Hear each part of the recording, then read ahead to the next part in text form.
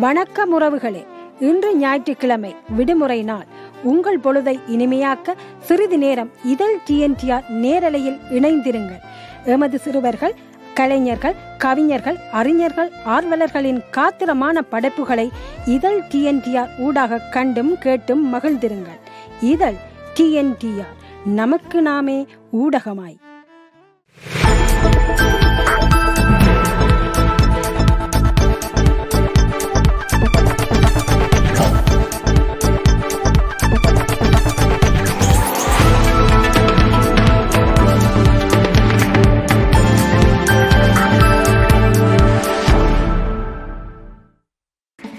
வணக்கம். இன்று இரண்டாயிரத்தி இருபதாம் ஆண்டு ஐப்பசி மாதம் பதினெட்டாம் திகதி ஞாயிற்றுக்கிழமை. இதழ் டிஎன்டிஆர் வானொலியின் விளையாட்டுச் செய்திகள். வாசித்து வழங்குபவர் அனுசுஜானந்த ரூபன் முன்னணி கால்பந்தாட்ட வீரர் கிறிஸ்டியானோ ரொனால்டோ கொரோனா தொற்றுக்குள்ளாகியுள்ளார். போர்த்துகல் கால்பந்தாட்ட கூட்டமைப்பு வெளியிட்டுள்ள அறிக்கையில் இதனை தெரிவித்துள்ளது. இதேவேளை ரொனால்டோவுக்கு கொரோனா தொற்று தொடர்பான எந்த அறிகுறிகளும் தென்படவில்லை என தெரிவிக்கப்பட்டுள்ளது. இந்நிலையில் ரொனால்டோ போட்டிகளில் இருந்து விலக்கப்பட்டு சுய தனிமைப்படுத்தலுக்காக அவரது வீட்டுக்கு அனுப்பப்பட்டுள்ளதாக போர்த்துகல் கால்பந்தாட்ட கூட்டமைப்பு குறிப்பிட்டுள்ளது. கிராண்ட்ஸ்லாம் அந்தஸ்து பெற்ற பிரான்ஸ் பகிரங்க டென்னிஸ் தொடரின் ஆண்களுக்கான ஒற்றையர் பிரிவு மகுடத்துக்கான இறுதிப் போட்டியில் கிளே ஆஃப் த கிங் என்று வர்ணிக்கப்படும் ஸ்பெயினின் ரபேல் நடால் பதிமூன்றாவது முறையாக சாம்பியன் பட்டத்தை வென்றுள்ளார். பெரும் எதிர்பார்ப்புக்கு மத்தியில் நடைபெற்ற இப்போட்டியில் ஸ்பெயினின் ரபேல் நடாலும் உலகின் முதல் நிலை வீரரான செர்பியாவின் நோவாக் யோகோவிச்சும் மோதினர். விறுவிறுப்பான இப்போட்டியில் முதல் செட்டை நடால் ஆறுக்கு சுழியம் என்று எளிதாக கைப்பற்றினார். தொடர்ந்து நடைபெற்ற இரண்டாவது செட்டிலும் நிதான ஆட்டத்தை வெளிப்படுத்திய நடால் ஆறுக்கு இரண்டு என்ற செட்டை இலகுவாக வென்றார். முதல் இரண்டு செட்களையும் எளிதாக வென்ற நடாலுக்கு மூன்றாவது செட்டில் சவால் காத்திருந்தது. மூன்றாவது செட்டில் நடாலுக்கு யோகோவிச் கடும் நெருக்கடி கொடுத்தார். எனினும் அதனை திறம்பட சமாளித்த நடால் செட்டை ஏழுக்கு ஐந்து என்று போராடி கைப்பற்றி சாம்பியன் கிண்ணத்தை வென்றார். நடாலுக்கு இது பதிமூன்றாவது பிரான்ஸ் பகிரங்க டென்னிஸ் சாம்பியன் பட்டமாகும். முன்னதாக இரண்டாயிரத்து ஐந்து இரண்டாயிரத்து ஆறு இரண்டாயிரத்து ஏழு இரண்டாயிரத்து எட்டு இரண்டாயிரத்து பத்து இரண்டாயிரத்து பதினொன்று இரண்டாயிரத்து பன்னிரண்டு இரண்டாயிரத்து பதிமூன்று இரண்டாயிரத்து பதினான்கு இரண்டாயிரத்து பதினேழு இரண்டாயிரத்து பதினெட்டு இரண்டாயிரத்து பத்தொன்பதாம் ஆண்டுகளில் அவர் சாம்பியன் பட்டங்களை வென்றுள்ளார். அத்துடன் ஆண்கள் டென்னிஸ் உலகில் அதிக கிராண்ட்ஸ்லாம் சாம்பியன் பட்டங்களை வென்ற மகத்தான சாதனை நாயகன் ரோஜர் பெராரரின் இருபது கிராண்ட்ஸ்லாம் பட்டங்கள் என்ற சாதனையையும் நடால் சமன் செய்துள்ளார். இது தவிர ஒரு கிராண்ட்ஸ்லாம் தொடரில் அதிக சாம்பியன் பட்டங்களை வென்ற வீரர் என்ற சாதனையையும் நடாலேயே சாரும். உலகின் முதல் நிலை வீரரான செர்பியாவின் நோவக் ஜோகோவிச் இதுவரை பதினேழு கிராண்ட்ஸ்லாம் பட்டங்களை வென்றுள்ள போதும் இதுவரை இரண்டாயிரத்து பதினாறாம் ஆண்டு மட்டுமே ஒரே ஒரு முறை அவர் பிரான்ஸ் பகிரங்க டென்னிஸ் தொடரில் சாம்பியன் பட்டம் வென்றுள்ளார். ஐபிஎல் டி டுவெண்டி தொடரின் முப்பத்தோராவது லீக் போட்டியில் கிங்ஸ் லெவன் பஞ்சாப் அணி எட்டு விக்கெட்டுகளால் வெற்றி பெற்றுள்ளது. சார்ஜாவில் வியாழக்கிழமை நடைபெற்ற இப்போட்டியில் கிங்ஸ் லெவன் பஞ்சாப் அணியும் ராயல் சேலஞ்சர்ஸ் பெங்களூர் அணியும் மோதின. இப்போட்டியில் நாணய சுழற்சியில் வெற்றி பெற்ற ராயல் சேலஞ்சர்ஸ் பெங்களூர் அணி முதலில் துடுப்படுத்தாட தீர்மானித்தது.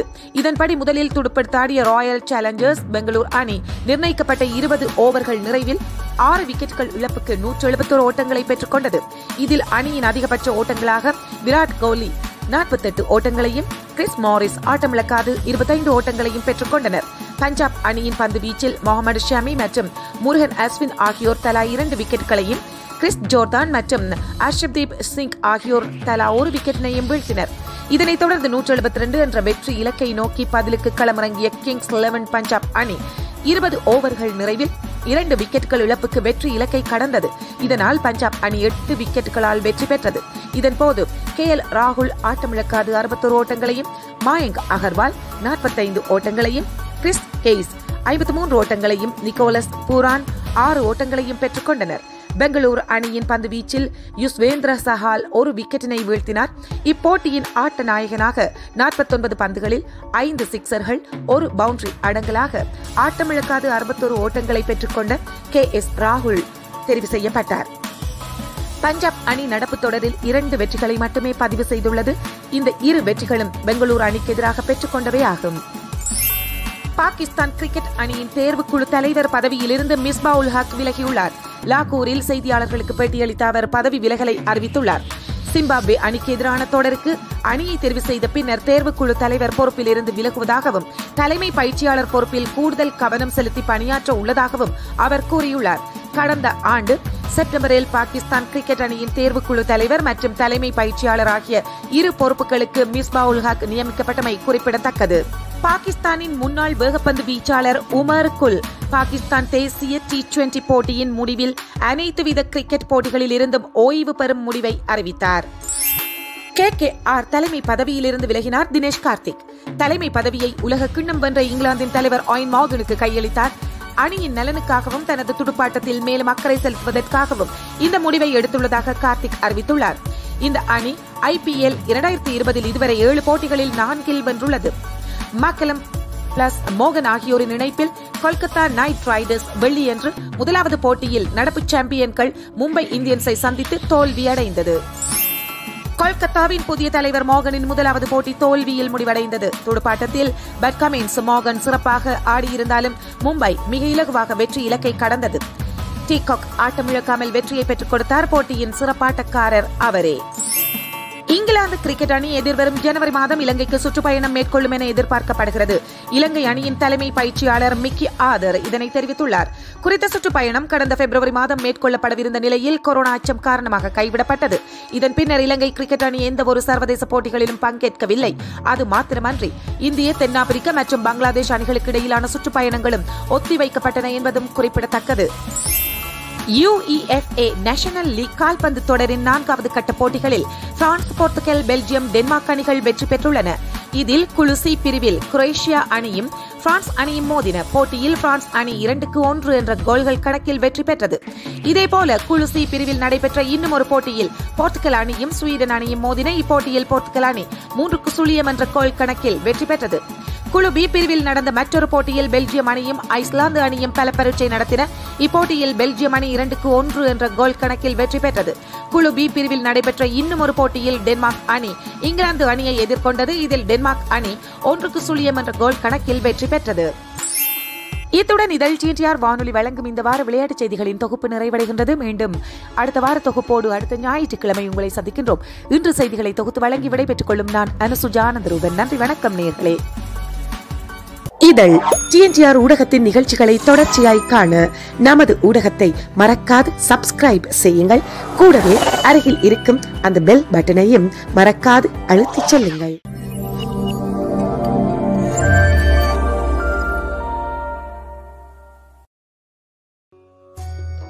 இதழ் டிஎன்டிஆர் ஊடக வானொலி தொலைக்காட்சி நேயர்களுக்கு அன்பு வணக்கங்கள்.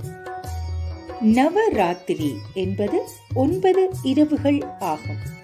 ஒன்பது நாட்களில் அம்பாள் ஒன்பது விதமான உருவங்களை எடுத்து மக்களுக்கு அருள் பாலிக்கின்றாள். அந்த வகையில் நவராத்திரி விழாவின் துர்க்கையின் ஒன்பது உருவங்களாவன முதல் நாளில் அன்னை மகேஸ்வரி ரூபம் பெறுகின்றாள்.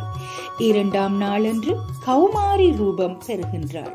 மூன்றாம் நாள் வராகி அம்மன் ரூபமும் நான்காம் நாள் மகாலட்சுமி தோற்றமும் ஐந்தாம் நாளில் வைஷ்ணவி ரூபமும் ஆறாம் நாள் இந்திராணியாக காட்சியும் தருகின்றாள். ஏழாம் நாளில் சரஸ்வதியாக அருள் புரிகின்றாள். எட்டாம் நாளில் நரசிம்ஹி ரூபம் எடுக்கின்றாள். ஒன்பதாம் நாள் சாமுண்டியாக தோற்றம் பெறுகின்றாள்.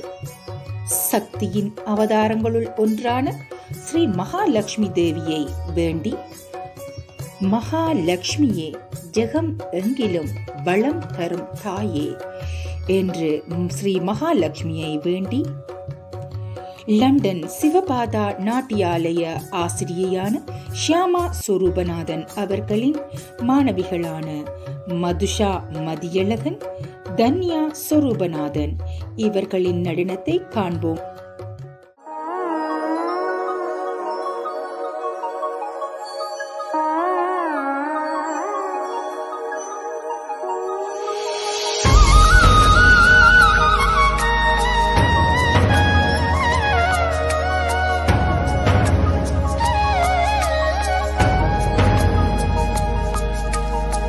भाग्यदलक्ष्मी बारम्मा भाग्याद लक्ष्मी बारम्मा नम्मं बारम्मानी सौ लक्ष्मी बारम्मा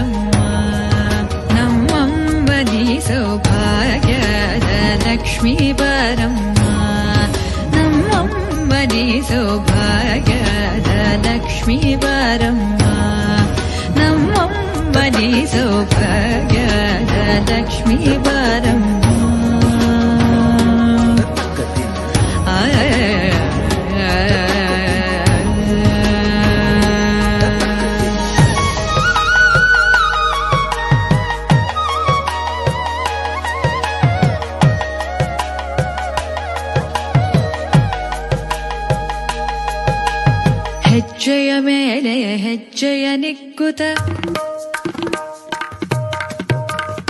ಕಾಲ್ಗಳ ಧ್ವನಿಯ ಮಾಡುತ್ತ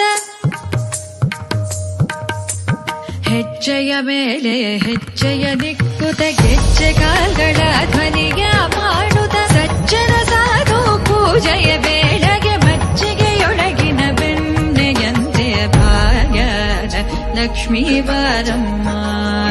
ನಮ್ಮಮ್ಮನಿ ಸೌಭಾಗ್ಯ ಲಕ್ಷ್ಮೀ ಸಕ್ಕರೆ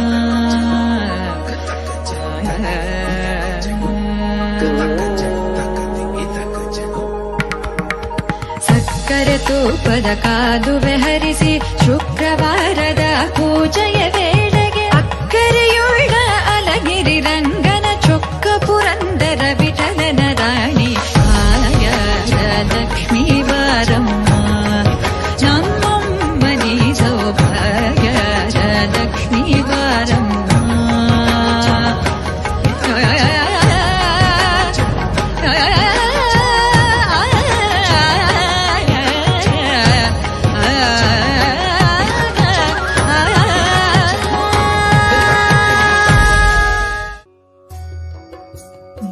மகாலட்சுமியே நிலம் எங்கிலும் வளம் தரும் தாயே.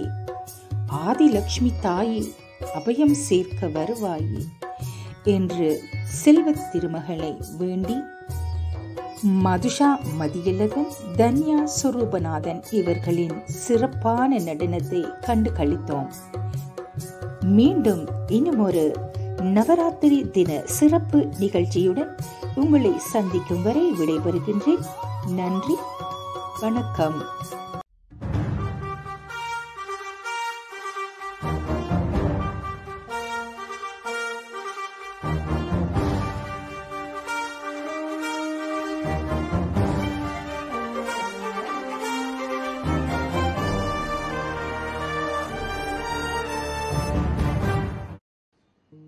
நீங்க சொல்றதுல நீங்க சொல்லக்குள்ள எனக்கு மெய்ஸ் இருக்கிற அளவுக்கு பயமா இருக்கிற ஒரு விஷயம் மட்டும் நீங்க சொன்னீங்க. போர் சூழல்ல இருந்து தான் நாங்க வந்திருக்கோம். நிறைய பேர். எங்கட அம்மா அப்பா இருந்து பாத்தீங்கன்னு சொன்னா எங்கட அப்பாவில இருந்து போர் சூழல். எங்கட அப்பா வந்து இலங்கை போர் சூழல்ல நாங்க குவைத்துல இருந்தாங்க அப்ப சதாம் ஹுசேன் நாங்க அங்க இருந்து ஓடி குவைத்துக்கு வர்றோம். குவைத்துல சதாம் ஹுசேன் வர்றோம் எனக்கு கண்ணுக்கு முன்னுக்கே சுடுறதுக்கு அதுகள் நான் குவைத்துல பார்த்தேன். ஸோ ஆனா எங்கட அப்பாவுக்கு அது ஒன்று எஃபெக்ட் பண்ணல. தேங்க் கோட் ஆனா நீங்க சொன்னதுல பயமான விஷயம் என்னன்னு சொன்னா இப்ப அது பார்த்து நிறைய பேர் வந்திருக்காங்க. அதோட டீல் பண்ணாட்டி இஞ்ச பிறந்து வளர்ற பிள்ளைகள். அவங்களுக்கு சம்பந்தமே இருக்கா அவங்க பார்த்திருக்க மாட்டாங்க கேள்விப்பட்டு மட்டும் இருப்பாங்க. அவங்களோட எஃபெக்ட் அப்பா அம்மாவோட எஃபெக்ட் பிள்ளைகளுக்கு பாஸ் ஆகுறது. நீங்க சொன்னது பயமான விஷயமா இருந்தது கேட்கக்குள்ளேயே. அது அது அது அவ்வளவுத்துக்கு எஃபெக்ட் பண்ணுமா? அது அவங்களோட ஜீன்ஸ்ல இருந்து வர்றதா இல்லாட்டி என்ன என்ன விஷயத்துல இருந்தது எஃபெக்ட் ஆகுது? கொஞ்சம் இன்னும் அந்த கொஞ்சம் ஜீன் மூலமா இந்த இந்த விஞ்ஞானத்துல சொல்லி நம்ம என்னன்னு சொல்லி சொன்னா அது ஜீன்ஸ் மூலமா அடுத்த தலைமுறைகளுக்கு கடத்தப்படுதுன்னு சொல்லி. அப்ப இத டிரான்ஸ் ஜெனரேஷனல் ட்ரோமா என்று சொல்லிடணும் நீங்கள் வந்து கூகுள்ல பார்க்கலாம் தேடி பார்க்கலாம். டிரான்ஸ் ஜெனரேஷனல் ட்ரோமான்னு சொல்லி. அப்ப இது என்ன நடக்குதுன்னு சொல்லி சொன்னா சொல்லுங்க நான் ஒரு யுத்த சூழல்ல வாழ்றேன். எனக்கு அது ஒரு பிரச்சனையும் இல்லை. அந்த நேரத்துல நான் எல்லாம் சமாளிச்சு கொண்டு வந்து சேர்ந்துட்டேன். ஆனால் நான் திடீரென்று எனக்கு ஏதாவது ட்ரிகர் ஆச்சுதுன்னு சொல்லி சொன்னா டக்குன்னு அது வெளிப்பட பார்க்கும். அந்த ட்ரோமான்றது வெளிப்படையில என்னால சாதாரணமா செயற்பட முடியாமல் முடியாமல் போயிடும். என்னால சில நேரத்துல இந்த வீதியை கூட ரோட்டை கூட கடக்க முடியாம இருக்கும் சில நேரத்துல. அவ்வளவுக்கு ஒரு பதட்டமான தன்மை பயம் ஒரு நம்பிக்கை இல்லாத தன்மை அப்படியான தன்மைகள் எல்லாம் உருவாகும். அப்ப இந்த ட்ரோமான்றது வந்து பெரிய ஒரு விஷயம். இந்த டிப்ரெஷன் மாதிரியே ட்ரோமாவும் அப்படி. சில நேரத்துல வந்து ட்ரோமாவுக்கும் டிப்ரெஷனுக்கும் இடையில வித்தியாசம் தெரியாமல் கஷ்டப்படுவினோம். நான் அந்த ஒரு இதுக்காக சொல்லல. சில நேரத்துல உண்மையில காய்ச்சி கொண்டு போனா நான் ஒரு கவுன்சிலரை ஆக்களோட காய்ச்சி கொண்டு போனா அவங்களுக்கு தெரியும் இந்த ஒரு ட்ரோமா ஆனால் அவைகளுக்கு டாக்டர்ஸ் சொல்லி இருப்பினோம் என்னண்டா உங்களுக்கு டிப்ரெஷன் இருக்குன்னு சொல்லி. ஏன்னா டாக்டர் சில நேரம் போதுமான அளவு நேரம் அவைகளோட செலவழிச்சு அவைகளுக்கு என்ன நடந்தது என்னத்துக்கு அப்படி வந்ததுன்னு சொல்லி கண்டுபிடிக்குமா? அப்ப சில நேரத்துல இன்னொரு பிரச்சனை என்னன்னு சொல்லி சொன்னால் இப்ப டிரான்ஸ் ஜெனரேஷனல் ட்ரோமாவா இருந்தா அது கண்டுபிடிக்கிறது இன்னும் கஷ்டமா இருக்கும். விளங்குது. ஏனண்டா உங்களோட அப்பாவுக்கு நடந்திருக்கலாம் அல்லது உங்களோட பாட்டனுக்கு நடந்த சில சம்பவங்கள் வந்து உங்களுக்கு ஜீன்ஸ் மூலமா கடத்தப்படுதுன்னு சொல்லி சொல்லிக்கலாம் அதெல்லாம் கண்டுபிடிக்கிறது சரியான கஷ்டமான விஷயம். ஆனால் இப்ப இருக்கிற சயின்ஸ் சொல்றது இப்ப இருக்கிற விஞ்ஞானம் சொல்றது வந்து இப்படி நடக்கலாம் அதே மாதிரி நான் படிச்ச பொழுது இந்த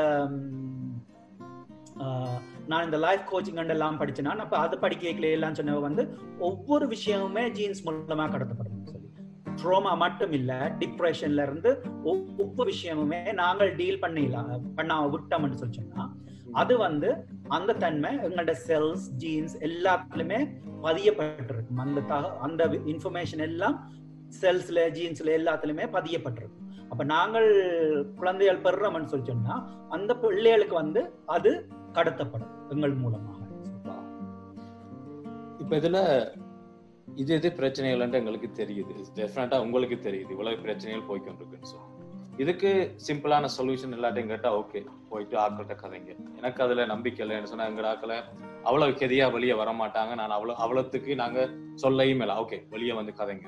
வரப்போறது. அது இல்ல. என்ன பொறுத்த மட்டும் அது இல்ல சொல்யூஷன் என்ன சொல்யூஷன் அதாவது இப்ப நீங்க சொன்னீங்க ஏர்லியா உங்கள்ட்ட வந்து கதைக்கிறது இப்ப இஸ் கான்பிடென்ஷியல் கான்பிடென்ஷியல் சொன்னா உங்கள்ட்ட கதைக்கிறது வெளியே போவாது எங்க நாக்களுக்கு ஒரு பயம் இருக்கு. நாங்கள் நாங்க எவ்வளவுதான் சொன்னாலும் இல்ல நான் என்னட்டு போயிட்டு இருக்கு வெளியே சொல்றது அதோட இந்த நிறைய கான்ஃபிளிக்டா இருக்கு இது வந்து நான் சும்மா லேசியா இருக்கணும் இல்லாட்டி சும்மா சேடா இருக்கணும் இல்லாட்டி உண்மையிலேயே எனக்கு ஏதாச்சும் சொல்லி எப்பயுமே ஒரு பயம் இருக்கு. இதை போய் கதைக்கலாமா?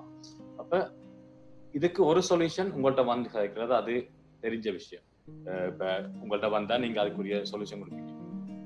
அப்படியும் இல்ல. நாங்க நாங்களே டீல் பண்ண போறோம். ஏதாச்சும் வீட்டுல இருந்தே செய்யக்கூடிய மாதிரி சொல்யூஷன் இல்லாட்டி எங்களுக்கு கொஞ்சம் சேடா இருக்குது. என்னண்டு? லைஃபை ஹாப்பியா ஆக்குது கொஞ்சம் சொல்யூஷன் சொல்லலுமா? இப்ப நாங்க வீட்டு அப்படியும் வெளியே வர மாட்டேன் சொல்றாங்களுக்கு ஓகே நீங்க அட்லீஸ்ட் இதையாச்சும் செய்யுங்க கொஞ்சம் பேர். சொல்யூஷன் என்று சொல்றேன். நான் என்னன்னு சொல்லி சொன்னால் முக்கியமா வந்து ஆட்கள் தங்களை தாங்களே ஐடென்டிஃபை ஐடென்டிஃபை பண்ணணும் கண்டுபிடிக்கணும். அதாவது தங்களுக்குள்ள தாங்களே யோசிச்சு கண்டுபிடிக்கணும். ஓ எனக்கு இப்படி ஒரு பிரச்சனை இருக்குன்றது. அதுக்காக உங்களை எல்லாரையும் லூஸ்ன்ற அர்த்தம் இல்லை. விளங்குது. அங்கட அங்கட ஆக்கண்ட வார்த்தை வா- வாயில வந்து இப்படி ஒன்று வார்த்தை பாவிக்கிறது அது மிக தப்பான ஒரு விஷயம். முக்கியமா வந்து எல்லாருக்குமே பிரச்சனை இருக்கு. மனிதனா பிறந்த எல்லாருமே வந்து கஷ்டத்தை நஷ்டத்தை ஒவ்வொரு விஷயத்தையும் அனுபவிச்சிருக்கோம். அப்ப அதுல புரிஞ்சு கொள்ள வேண்டியது வந்து எங்களுக்கு பிரச்சனை வந்தால் என்னண்டு கண்டுபிடிக்கிறன்றத முதல்ல பார்ப்போம்.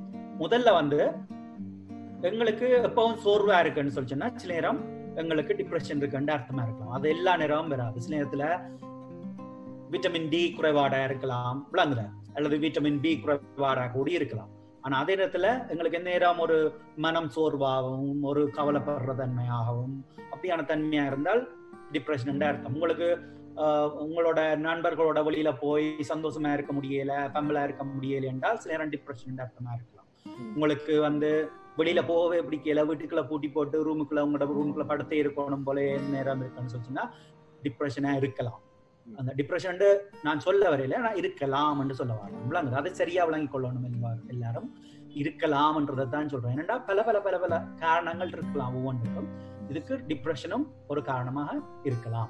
அப்படி பல பல விஷயங்களை நான் சொல்லிக் கொண்டே போகலாம். அதுல முக்கியமான இன்னொரு விஷயம் நான் எழுதி வச்சிருக்கிற இன்னொரு விஷயம் என்னன்னு சொல்லி சொன்னா நீங்க சொன்னீங்க உடல் ரீதியான ஆரோக்கியம் மன ரீதியான ஆரோக்கியம் சொல்லி. ஆனா பல விஷயங்கள் இருக்கு. இப்ப எங்களுக்கு உடல் ரீதியான ஆரோக்கியம் இருக்குது மன ரீதியான ஆரோக்கியம் இருக்கு மற்றது காசு ரீதியான ஆரோக்கியம் இருக்கு. பணம் பணமும் ஒரு வகையான ஆரோக்கியம் அப்படி பல மற்றது குடும்பம் சார்பான குடும்ப ஆரோக்கியம் மற்றது எங்கள்ட ஒரு உறவினர்கள்னு சொல்லி சொன்னா அந்த ஒரு நெட்வொர்க் இருக்கு அது ஒரு வகையான விஷயம். அப்படி பல வகையான விஷயங்களை நாங்க சொல்லலாம். இப்ப நீங்க பாத்தீங்கன்னு சொல்லி சொன்னா உங்களுக்கு தலைகீழா தெரியுதோன்றதை நான் யோசிக்கிறேன். தெரியுது எனக்கு சரி. ஏன்னா நான் பாக்கல எனக்கு தலைகீழா தெரியுது இல்ல ஆஹ் அப்ப நீங்க ஒரு ஓ, அப்ப இதுல பாத்தீங்கன்னா உடல் நலம் மனநலம் பணம் உறவு நட்பு வேலை அல்லடி தொழில் ஆன்மீகம். மற்றது வேற உங்களுக்கு விரும்பினதை இதுக்குள்ள போடலாம். அப்படி இது இப்படித்தான் இது மட்டும்தான் இருக்கணும்ன்றது இல்ல இப்ப சிலருக்கு வந்து ஆன்மீகம் இல்லாமல் முக்கியம் இல்லாமல் இருக்கலாம் வேண்ட வாழ்க்கையில. அல்ல வேற இதுகள் வரலாம். அல்லது வேற வேற விஷயங்களை நீங்கள் போட்டுக்கொள்ளலாம். அப்ப இப்படியான ஒரு இது ஒரு ஒரு வ- ஒரு ஒரு ஒரு வாகனத்தின் வீலா எடுத்துக்கொண்டீங்கள்னு சொல்லி சொன்னா ஒரு வீல் என்று நெச்சிங்கள்னு சொல்லி சொன்னா ஒரு சக்கரமா? இந்த சக்கரத்துல இதுல வந்து உடல் நலம் சொல்லுங்க உங்களோட உடல் நலம் வந்து எழுபது வீதத்துல இருக்குது ம். அப்ப நான் வந்து எழுபது வீதத்துக்கு மார்க் பண்றேன். இங்க. சரியா? உங்கள்ட சாரி உடல் நலம் வந்து எழுபது வீதத்துக்கு மார்க் பண்றேன். மனநலம் வந்து இங்க இருக்கு. சரியா? ஒரு இருபத்தஞ்சு வீதத்துக்குலாம் இருக்கு. உங்கள்ட பணம் வந்து ஒரு எழுபத்தஞ்சு வீதத்துல இருக்குது திருப்பி இந்த உறவுன்னு சொல்லிக்கல உங்களுக்கு உறவு எல்லாரோடையும் விரிசல் உறவுல வந்து பிரச்சனை இப்படி வந்துட்டு அல்லது டிவோர்ஸ் எடுத்துட்டீங்க நீங்க தனியா இருக்கிறீங்களோ? அல்லது ஏதோ நட்பு அன்னைக்குள்ள நட்பு வட்டம் கொஞ்சம் நல்ல க்ளோஸ் ஃப்ரெண்ட்ஸ் இருக்கணும். கதைக்கிறதுக்கு விரும்பின என்ன விஷயம் காய்ச்சி கொள்றதுக்கு மனம் விட்டு காய்ச்சி கொள்றதுக்கு ஃப்ரெண்ட்ஸ் இருக்குன்னு சொல்லி சொன்னா அதுக்கு ஒரு கொஞ்சம் கூட போடுறோம் அதுவும் நூறு விதம் இல்ல ஓரளவுக்கு தான். ஏண்டா? அப்படி போடுறோம் உள்ள அப்படி அப்படி போட்டு கொண்டு வரைக்கல இப்ப நாம் சுமார் இதை போடுறோம் சரியா? சும்மா போட்டுட்டு இத பார்த்தோம்னு சொல்லி சொன்னா இது ஒரு வீல்ன்னு சொல்லி சொன்னானே. இந்த வீல் வந்து வீலாவா இருக்குது இப்ப? இது சக்கரமாவா இருக்கு? உருளக்கூடிய சக்கரத்தால இந்த சக்கரத்தால எவ்வளவு தூரம் உருளக்கூடியதா இருக்கும்? உருளாதானே அப்ப எல்லாம் ஒரே அளவா பேலன்ஸ்டா இருந்தா தான் எல்லா ஏரியாவும் எங்களுக்கு பேலன்ஸ்டா இருந்தா தான் இந்த சக்கரம்ன்றது வந்து சக்கரம் மாதிரி இருக்கும் உருளும். எங்களோட வாழ்க்கை வந்து முன்னோக்கி உருண்டு போகக்கூடியதா இருக்கும். அப்படி இல்லாமல் ஒன்று உடைஞ்சு அல்லது குறைவா இருந்து இருந்தாலே அதுக்குள்ள போய் அந்த சக்கரம் அப்படியே போய் நின்றுடும். என்ன. ஸ்மூத்தா ஓட ஓடாது ஒரு காலம். அப்ப இது நீங்கள் எழுதி பாருங்க நீங்களே எழுதி பாருங்க இது ஒவ்வொன்றும் எவ்வளவு விதத்துல இருக்கு உங்களுக்குன்னு சொல்லி போட்டு எது குறைஞ்சிருக்கோ அந்த இடத்துல நீங்கள் கவனத்தை செலுத்தணும். நீங்க ஏர்லியா சொன்னது ஒருக்கா நான் திருப்பி சொல்ல ஆசைப்படுறேன் இது வந்து இப்ப சிலவங்க சொல்லுவாங்க எங்களுக்கு பணம் லைஃப்ல முக்கியம் இல்லை. அப்படின்னா அவங்க அதை பணத்தை போட தேவையில்லை. ஆனா வேற ஏதாச்சும் அவங்களுக்கு முக்கியமா இருக்கு. ஆனாலும் ஆனாலும் அந்த பணம் முக்கியம் இல்லை என்றாலும் எங்களுக்கு பணம் இல்லாம இருக்கல அதுதானே என்ன? என்ன சொன்னா பில்லு கட்டணும் அல்லது மோகேஜ் கட்டணும் அல்லது வீட்டு வாடகை கட்டணும் அல்லது எங்களோட சாப்பாடுகளுக்கு சொல்லி காசு தேவை. அப்படி முக்கியம் இல்லையென்று வி- விடுறது சில விஷயம் முக்கியம் இல்லையென்று விட இயலாது ஏனென்றா பணம் தேவை. எங்களுக்கு வந்து வாழ்க்கையில சில சில விஷயம் உடல் நலம் தேவை மனநலம் தேவை. இது முக்கியம் இல்லையென்று விட்டோம்னு சொல்லி சொன்னால் விடையலாம் ஏனென்றா அது கட்டாயமா தேவை. இப்ப சிலருக்கு வந்து உத- உதாரணத்துக்கு சொல்லுங்க. இப்ப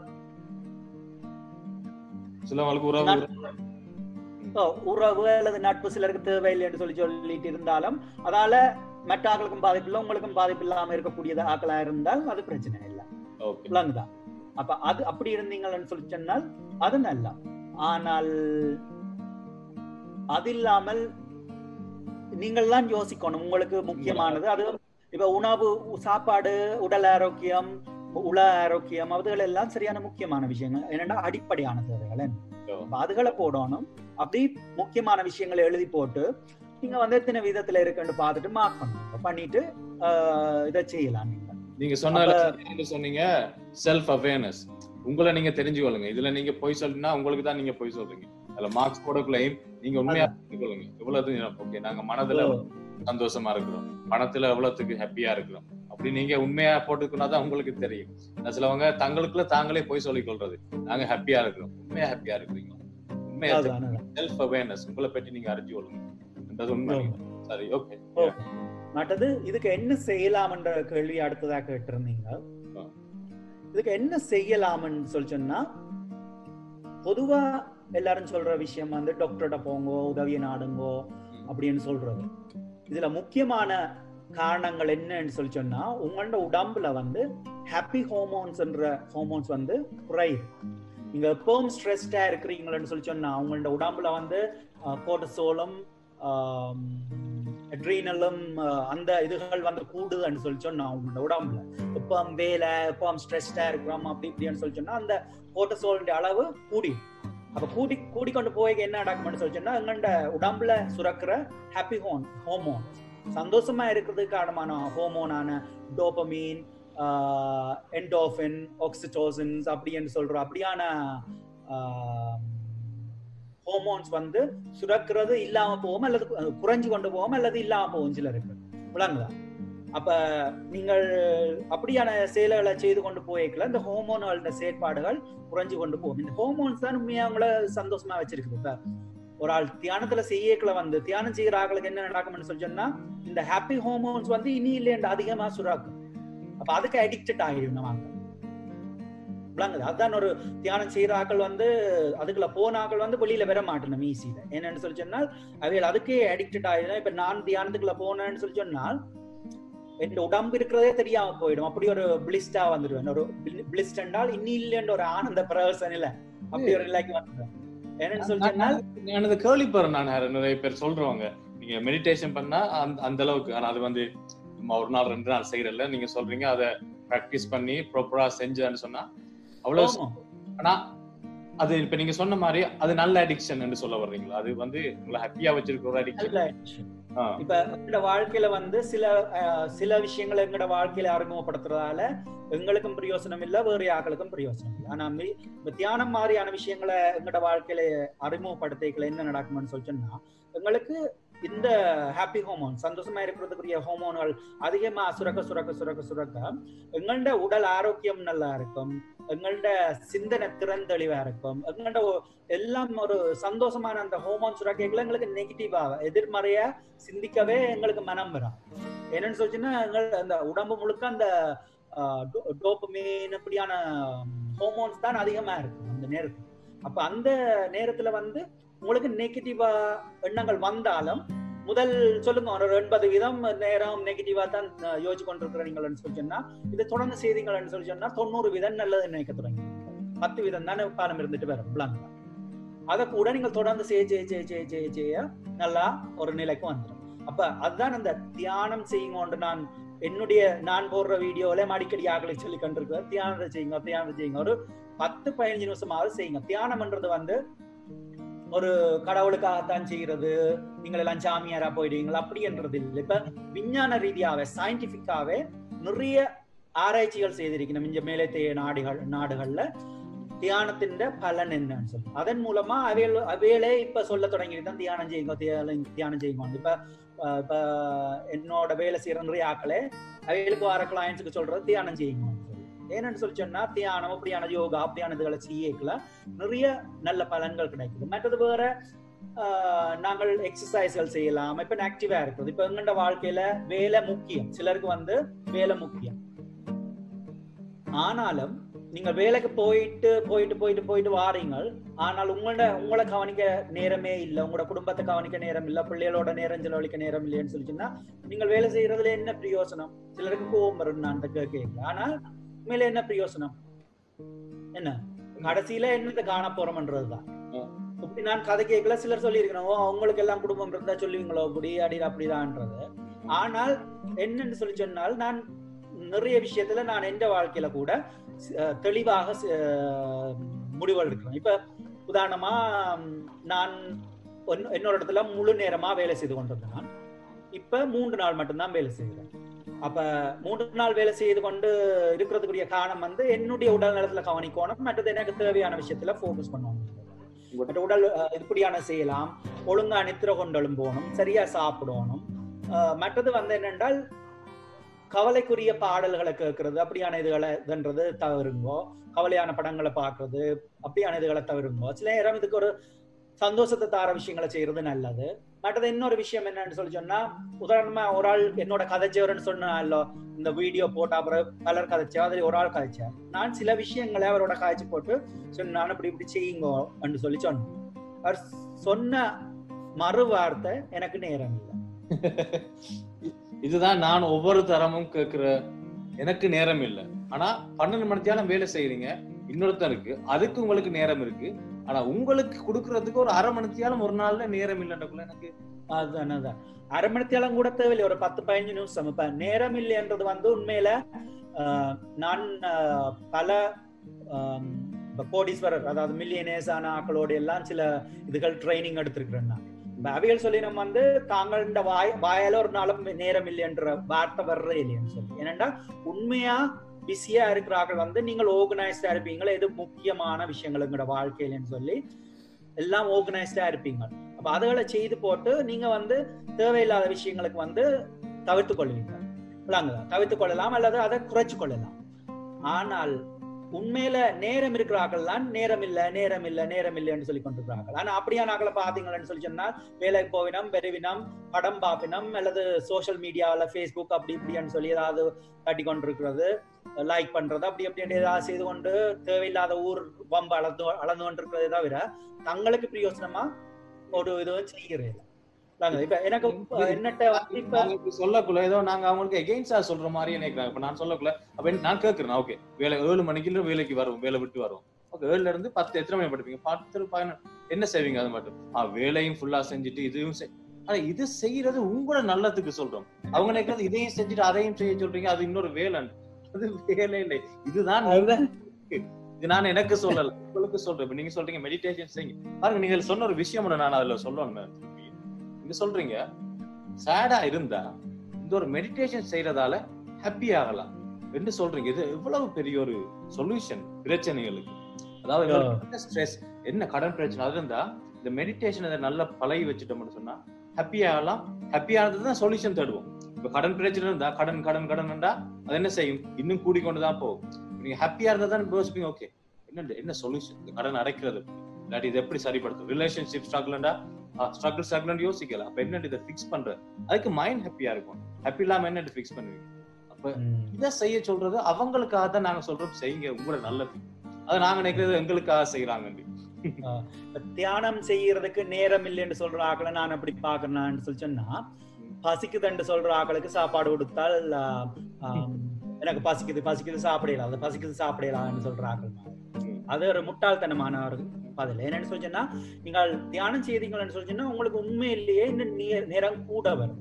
கூட வரும் என்னதுக்கு சொல்றேன்னு சொல்லி சொன்னா உங்களோட ஃபோக்கஸ் வந்து ஷார்ப் ஆயிடும். ஒரு ஒரு ஒரு தெளிவான சிந்தனையை எடுத்து இப்ப உதாரணத்துக்கு நான் என்ன பெருமைக்காக சொல்லல என்னோட வேலை செய்யற நிறைய என்ன வந்து பாக்குற நிறைய கிளையன்ஸ் இருக்கணும் இப்படியான விஷயங்களை செய்யறதால வந்து குடும்பத்துக்கு இடையில நடக்கிற பிரச்சனைகள் எல்லாம் போயிருக்கு.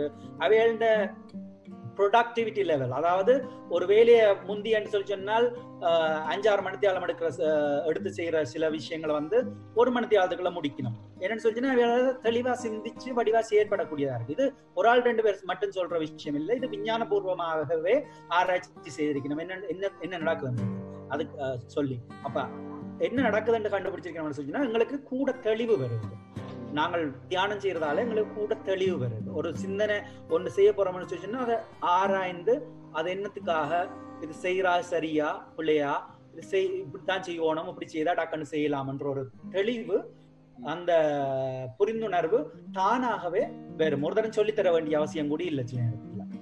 அதான் இந்த தியானம் என்று சொல்றது வந்து பல பிரச்சனைகளுக்கு ஒரு தீர்வா இருக்கும். ஆரம்பத்துல நிறைய பேர் நினைக்கிறது எங்கண்ட மனதை வந்து நிப்பாட்டி வைக்கணும் சொல்லி. தியானம்ண்டா மனதை நிப்பாட்டணும். மைண்டை வந்து ஸ்டாப் பண்ணணும்.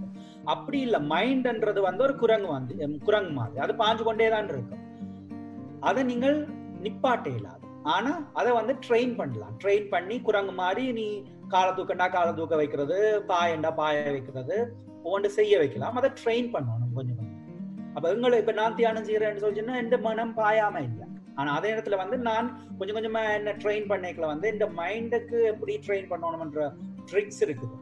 தந்திரம் இருக்கு. அப்ப அதை வந்து நாங்கள் பாவிக்க வழி கிடைக்கல நீங்கள் கண்ட்ரோல் பண்ண வழி கிடையுங்கள் உங்களோட மனதை. கூடுதல நாட்களுக்கு வந்து அவை இந்த மனதுக்கும் தங்களுக்கும் இடையில இருக்கிற வித்தியாசம் தெரியாது. ரெண்டா அப்படியே மாறிட்டு ஆனா மனம்ன்றது வந்து நாங்கள் கண்ட்ரோல் பண்ணலாம். விளங்குது.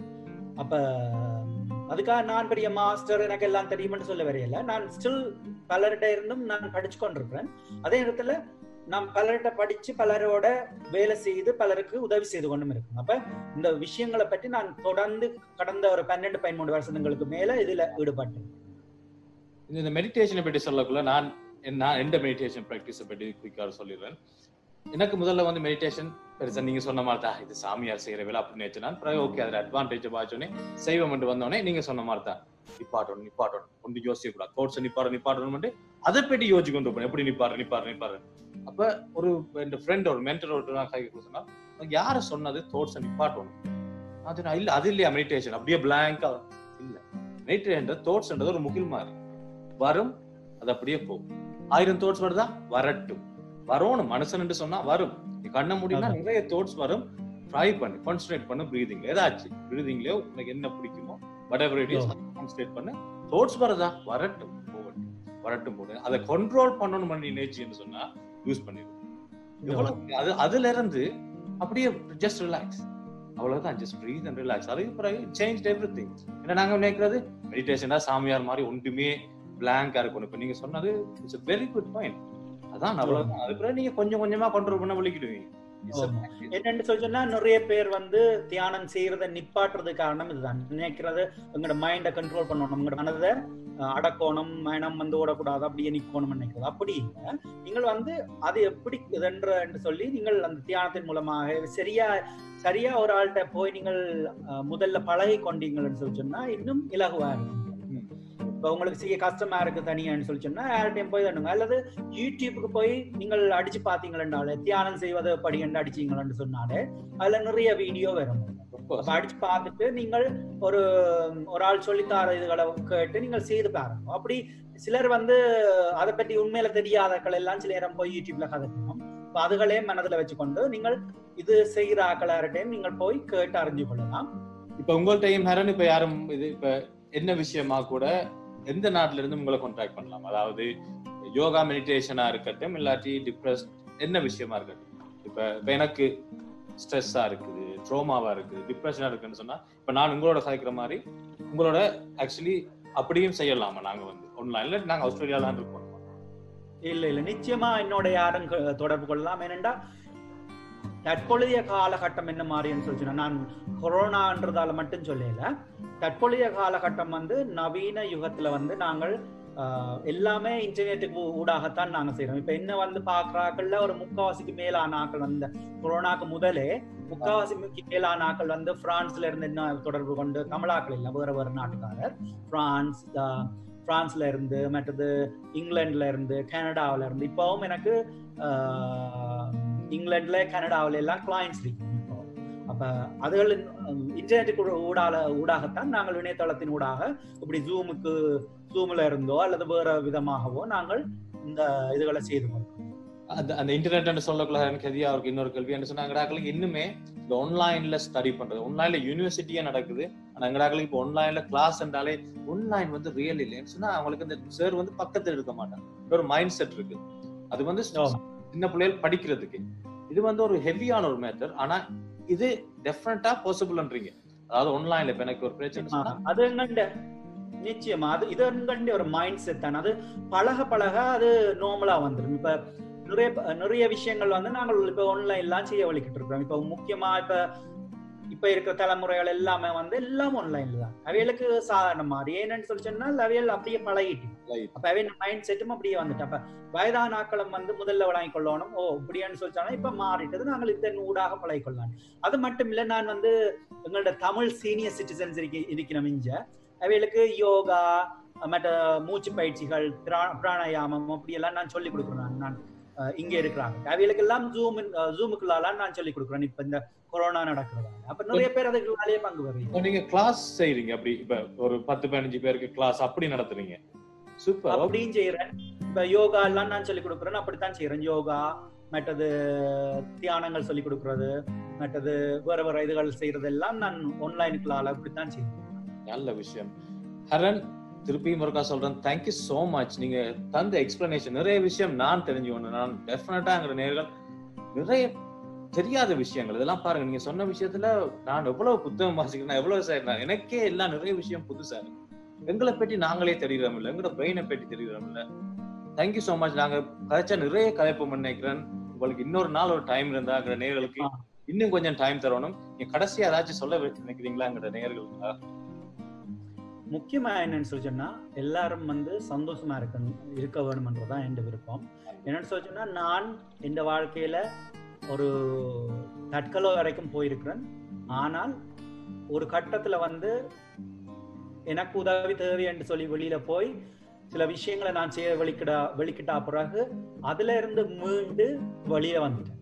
ஒரு முப்பது வயசு மட்டும் வெளியில வந்துட்டேன். அப்ப வெளியில வந்த பிறகு பாக்கேக்குல முந்தி நடந்த விஷயங்கள் நான் செய்த விஷயங்கள் தற்கொலை வரைக்கும் போயிருக்கிறேனே நான் ஒரு நான் ஒரு விசரணேன்ற மாதிரி ஒரு அப்படி ஒரு சிரிக்கிற மாதிரியான ஒரு தன்மைக்கு நான் வந்துட்டேன். சிரிக்கிற மாதிரின்னு சொல்லி என்ன என்ன பார்த்து நானே சிரிக்கிறது?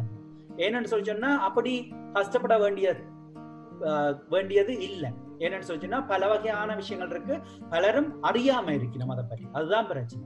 அதை பற்றி அறியாம இருக்கணும். அப்ப இப்படி அறிந்தவர்களை கேட்டு அறியலாம். இதை பற்றி சில நான் ஒரு இதுக்காக சொல்லல அந்த சில டாக்டர்ஸ்மார் எல்லாம் வந்து டிப்ரெஷன் போனால் உடனே வந்து டிப்ரெஷன் டேப்லெட்டை குடிக்கணுமே தவிர வேற வேற விஷயங்கள் செய்யலாம்னு சொல்லி அவளுக்கு ஊக்கப்படுத்தணும் இல்லை சில டாக்டர்ஸ் மேல எனக்கு நண்பர்களா இருக்கணும். இப்படியானாக்கள் உடனே மருந்து கொடுக்கல. அது அப்படி செய் இப்படி செய் எக்ஸசைஸ் செய் ஓடப்போ தியானம் செய் அப்படி இப்படின்னு சொல்லி செய்து வெளியில விடு தண்ணிதான் சிலர் வந்து எடுத்த உடனே மருந்து குடிக்கணும் ஆன்டி டிப்ரெஷன் டிப்ரெஷனுக்கு குளிசிய அப்படி எல்லாம் செய்ய வேண்டிய தேவை இருக்கிறதா எனக்கு தெரியல. ஆனா நான் டாக்டர் இல்லை. நான் அதுக்கு அப்படி பதில் சொல்றதுக்கு எனக்கு உரிமை இல்லை. ஆனால் நீங்கள் வந்து உங்களோட உடல் மனநலம் மற்ற எல்லா விஷயங்களுமே வந்து உங்களோட கையில எடுக்கணுமே தவிர மற்றவர்களோட கையில கொடுக்க வேண்டிய தேவை இல்லை என்றது என்னுடைய அனுபவம்.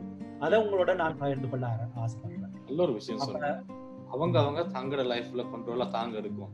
என்ன? இப்ப நீங்க சொன்ன விஷயங்கள் எனக்கு பிடிச்ச திருப்பி சொல்லுவீங்க நீங்க உங்களோட ஹெல்த் உங்களோட மென்டல் ஹெல்த் இஷ்யூ வந்து பாஸ் ஆன் பண்ணக்கூடியது. நீங்க பிள்ளைகளை பார்த்து பார்த்து வளர்க்குறீங்க. ஆனா நீங்க செய்யற விஷயங்கள் அவங்களுக்கு போகுது ஜெனரேஷனுக்கு போகக்கூடிய நிலைமை இருக்கக்குள்ள இது வந்து எவ்வளவு இம்பார்ட்டன்டான விஷயம். இதை பற்றி நிச்சயமா திருப்பி இன்னொரு எபிசோட்ல உங்களோட டைம் தேங்க்யூ அகேன் இன்னொரு எபிசோட்ல டெஃபினட்டா இதை பற்றி இன்னும் கொஞ்சம் விளக்கமா காய்க்க ஆசைப்படுறேன். நிறைய விஷயம் இருக்கு. இது ஒரு கடல் போல இந்த விஷயங்கள். அப்ப கதைக்கிறதுக்கு நிறைய இருக்குது. சில விஷயங்கள் கதைக்காம விட்டுருக்கலாம். இரண்டா வேற வேற விஷயங்களை கதைச்சதால இப்ப நேரமும் காணாது. அப்ப இனி இனி வரும் காலங்களில நாங்கள் இன்னும் கதைச்சு இன்னும் மேலதிகமாக பல விஷயங்களை பகிர்ந்து கொள்ளலாம். நன்றி. நன்றி Haran. Thank you so much for your time again நாங்க இன்னொருக்கா வெரி சூன் திருப்பி சந்திப்போம். தேங்க்யூ நிச்சயமாக. அனைவருக்கும் நன்றி. நன்றி.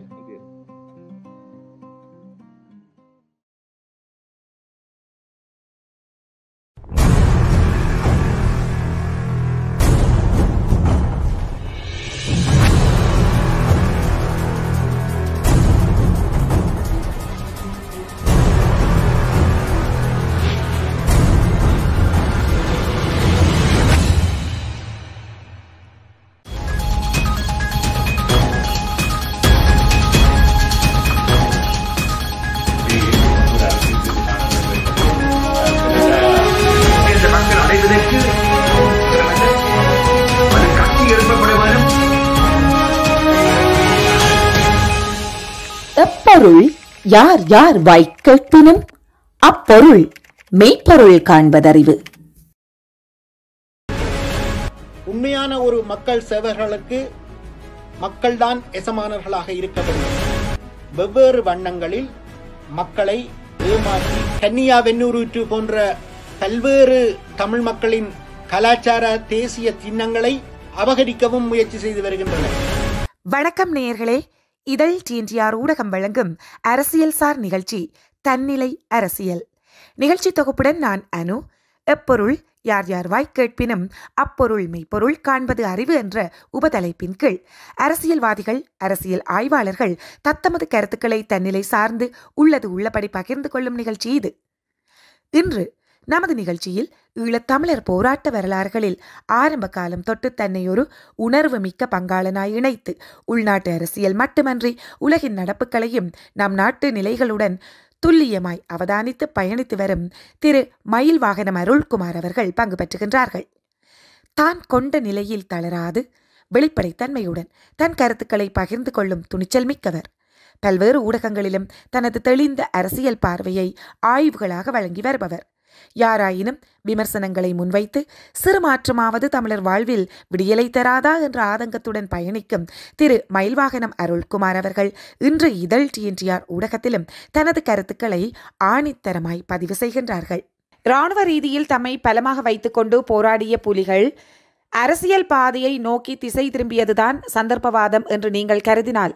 அந்த சந்தர்ப்பவாதத்தை அவர்கள் செய்யாமல் தொடர்ந்து அதே இராணுவ பலத்தோடு மட்டும் மோதியிருந்தால் நீங்கள் நினைக்கின்ற கனவுகள் எல்லாம் இப்போது நிறைவடைந்திருக்கும் என்று நீங்கள் நினைக்கிறீர்களா? அல்லது இனியாவது நிறைவடையும் என்று நீங்கள் நினைக்கிறீர்களா? இங்கே உலகில் பூகோள அரசியல் என்ற பல ப வழிமுறை சிக்கல்கள் இடையில் உலக அரசியல் ஒவ்வொரு நாட்டு அரசியலையும் தீர்மானித்த சந்தர்ப்பங்கள் சூழல்கள் தோன்றிய போது புலிகள் தீவிரவாதம் ஒரு மதம் என்று உலகத்தால் பார்க்கப்படக்கூடிய சூழ்நிலை கூட உலக நாட்டில் வேறு நாடுகளில் நடந்த பிரச்சனைகள் திசை திருப்பி விட்டன. அப்படி இருக்கும் போதும் இப்படியான இராணுவ பலத்துடன் போராடி வென்றிருக்கலாம் என்று நீங்கள் நம்புகிறீர்களா? இனியும் நம்புகிறீர்களா? அப்படி அந்த போராட்டத்தை செய்வதாயின் யார் செய்வது? அங்கிருப்பவர்கள் கேட்கும் கேள்வி சரிதானே. நீங்கள் வெளிநாடுகளில் இருந்து கதைத்து கொண்டிருப்பீர்கள். இங்கு நாங்கள் எங்களுக்கு நடைமுறை சாத்தியமானதை மட்டும்தான் நாங்கள் செய்யலாம் என்று நாட்டில் இருப்பவர்கள் சொல்வது பிழையா? அப்படி ஆயுதம் எடுத்துத்தான் போராடி எமது உரிமைகளை பெற முடியும் என்ற கட்டாயம் உள்ளது என்று இங்கு வெளிநாடுகளில் இருந்து சொல்லுகின்ற நீங்கள் அந்த போராட்டத்தை இங்கிருந்து சென்று அங்கு நடத்த தயாராக இருக்கின்றீர்களா? தயாராக இருக்கின்றார்களா வேறு யாராவது? உங்கள் பதில் என்ன? நீங்கள் கேட்டது ஒரு மிக அருமையான கேள்வி. விடுதலை புலிகள் பேச்சுவார்த்தைகளுக்கு போயிருக்கக்கூடாது என்று நான் சொல்லவில்லை. விடுதலை புலிகள் இதற்கு முன்பும் பேச்சுவார்த்தைகளுக்கு சென்றிருக்கின்றார்கள். குறிப்பாக சொன்னால் இந்திய ஆக்கிரமிப்பு படைகள் எங்களுடைய தேசத்தை ஆக்கிரமிப்பித்திருந்த காலத்தில் விடுதலை புலிகளின் உதவி தலைவர் தலைமையில் ஒரு பேச்சுவார்த்தை குழு கொழும்புக்கு சென்றது. அன்றைய அரசு தலைவர் பிரேமதாசா அவர்களுடன் பேசி இந்திய ஆக்கிரமிப்பு படையை விலக்குவது தொடர்பாகவும் இந்திய ஆக்கிரமிப்பு படைகளை எதிர்த்து போராடுவதற்கு அவர்களிடமே இருந்தே ஆயுதங்களை பெற்று. இலங்கை அரசிடமிருந்தே ஆயுதங்களை பெற்று. இன்னும் தெளிவாக சொன்னால் இந்தியா ஆக்கிரமிப்பு படைகளை யார் அழைத்தார்களோ அவர்களிடமிருந்தே அவர்களை விலக்குவதற்கு ஆயுதங்களை பெற்று வந்து போராட்டத்தை தொடர்ந்தார்கள். வெற்றியும் பெற்றார்கள். ஆனால் அந்த பேச்சுவார்த்தைகளுக்கு அடிநாதமாக முன் நிபந்தனையாக சுயநிர்ணய உரிமை கோரிக்கையை தமிழ் மக்களுடைய சுயநிர்ணய கோரிக்கையை இலங்கை அரசு அங்கீகரிக்க வேண்டும் என்பது மிக முக்கியமான வேண்டுகோளாக மிக முக்கியமான நிபந்தனையாக இருந்தது. அது கிட்டத்தட்ட அதே காலகட்டத்தில் விடுதலை புலிகளுடன் விடுதலை புலிகளின் அனுசரணையுடன் ஈழப்புரட்சி அமைப்பு நாங்கள் சார்ந்திருந்த ஈழப்புரட்சி அமைப்பின் பதிமூன்று பாராளுமன்ற உறுப்பினர்கள் எண்பத்தி ஒன்பதாம் ஆண்டு பொதுத் தேர்தலில் வெற்றி பெற்று பாராளுமன்றம் சென்றார்கள். அவர்கள் கூட ஒரு முன் நிபந்தனையுடன் தான் இலங்கை பாராளுமன்றத்துக்கு சென்றார்கள். ஆறு மாதங்களில் இலங்கை அரசானது சுயநிர்ணய உரிமை கோருவதை தடை செய்யும் ஆறாவது திருத்தச் சட்டத்தை நீக்க வேண்டும். அவ்வாறு அவ்விதம் நீக்கும் பட்சத்திலேயே நாங்கள் பதவிகளில் நீடிப்போம் என்ற முன் நிபந்தனையுடன் சென்றார்கள். இலங்கை அரசு அதனை கௌரவிக்காத போது மக்களுக்கு விசுவாசமாக தங்களுடைய பதவிகளை துறந்தார்கள்.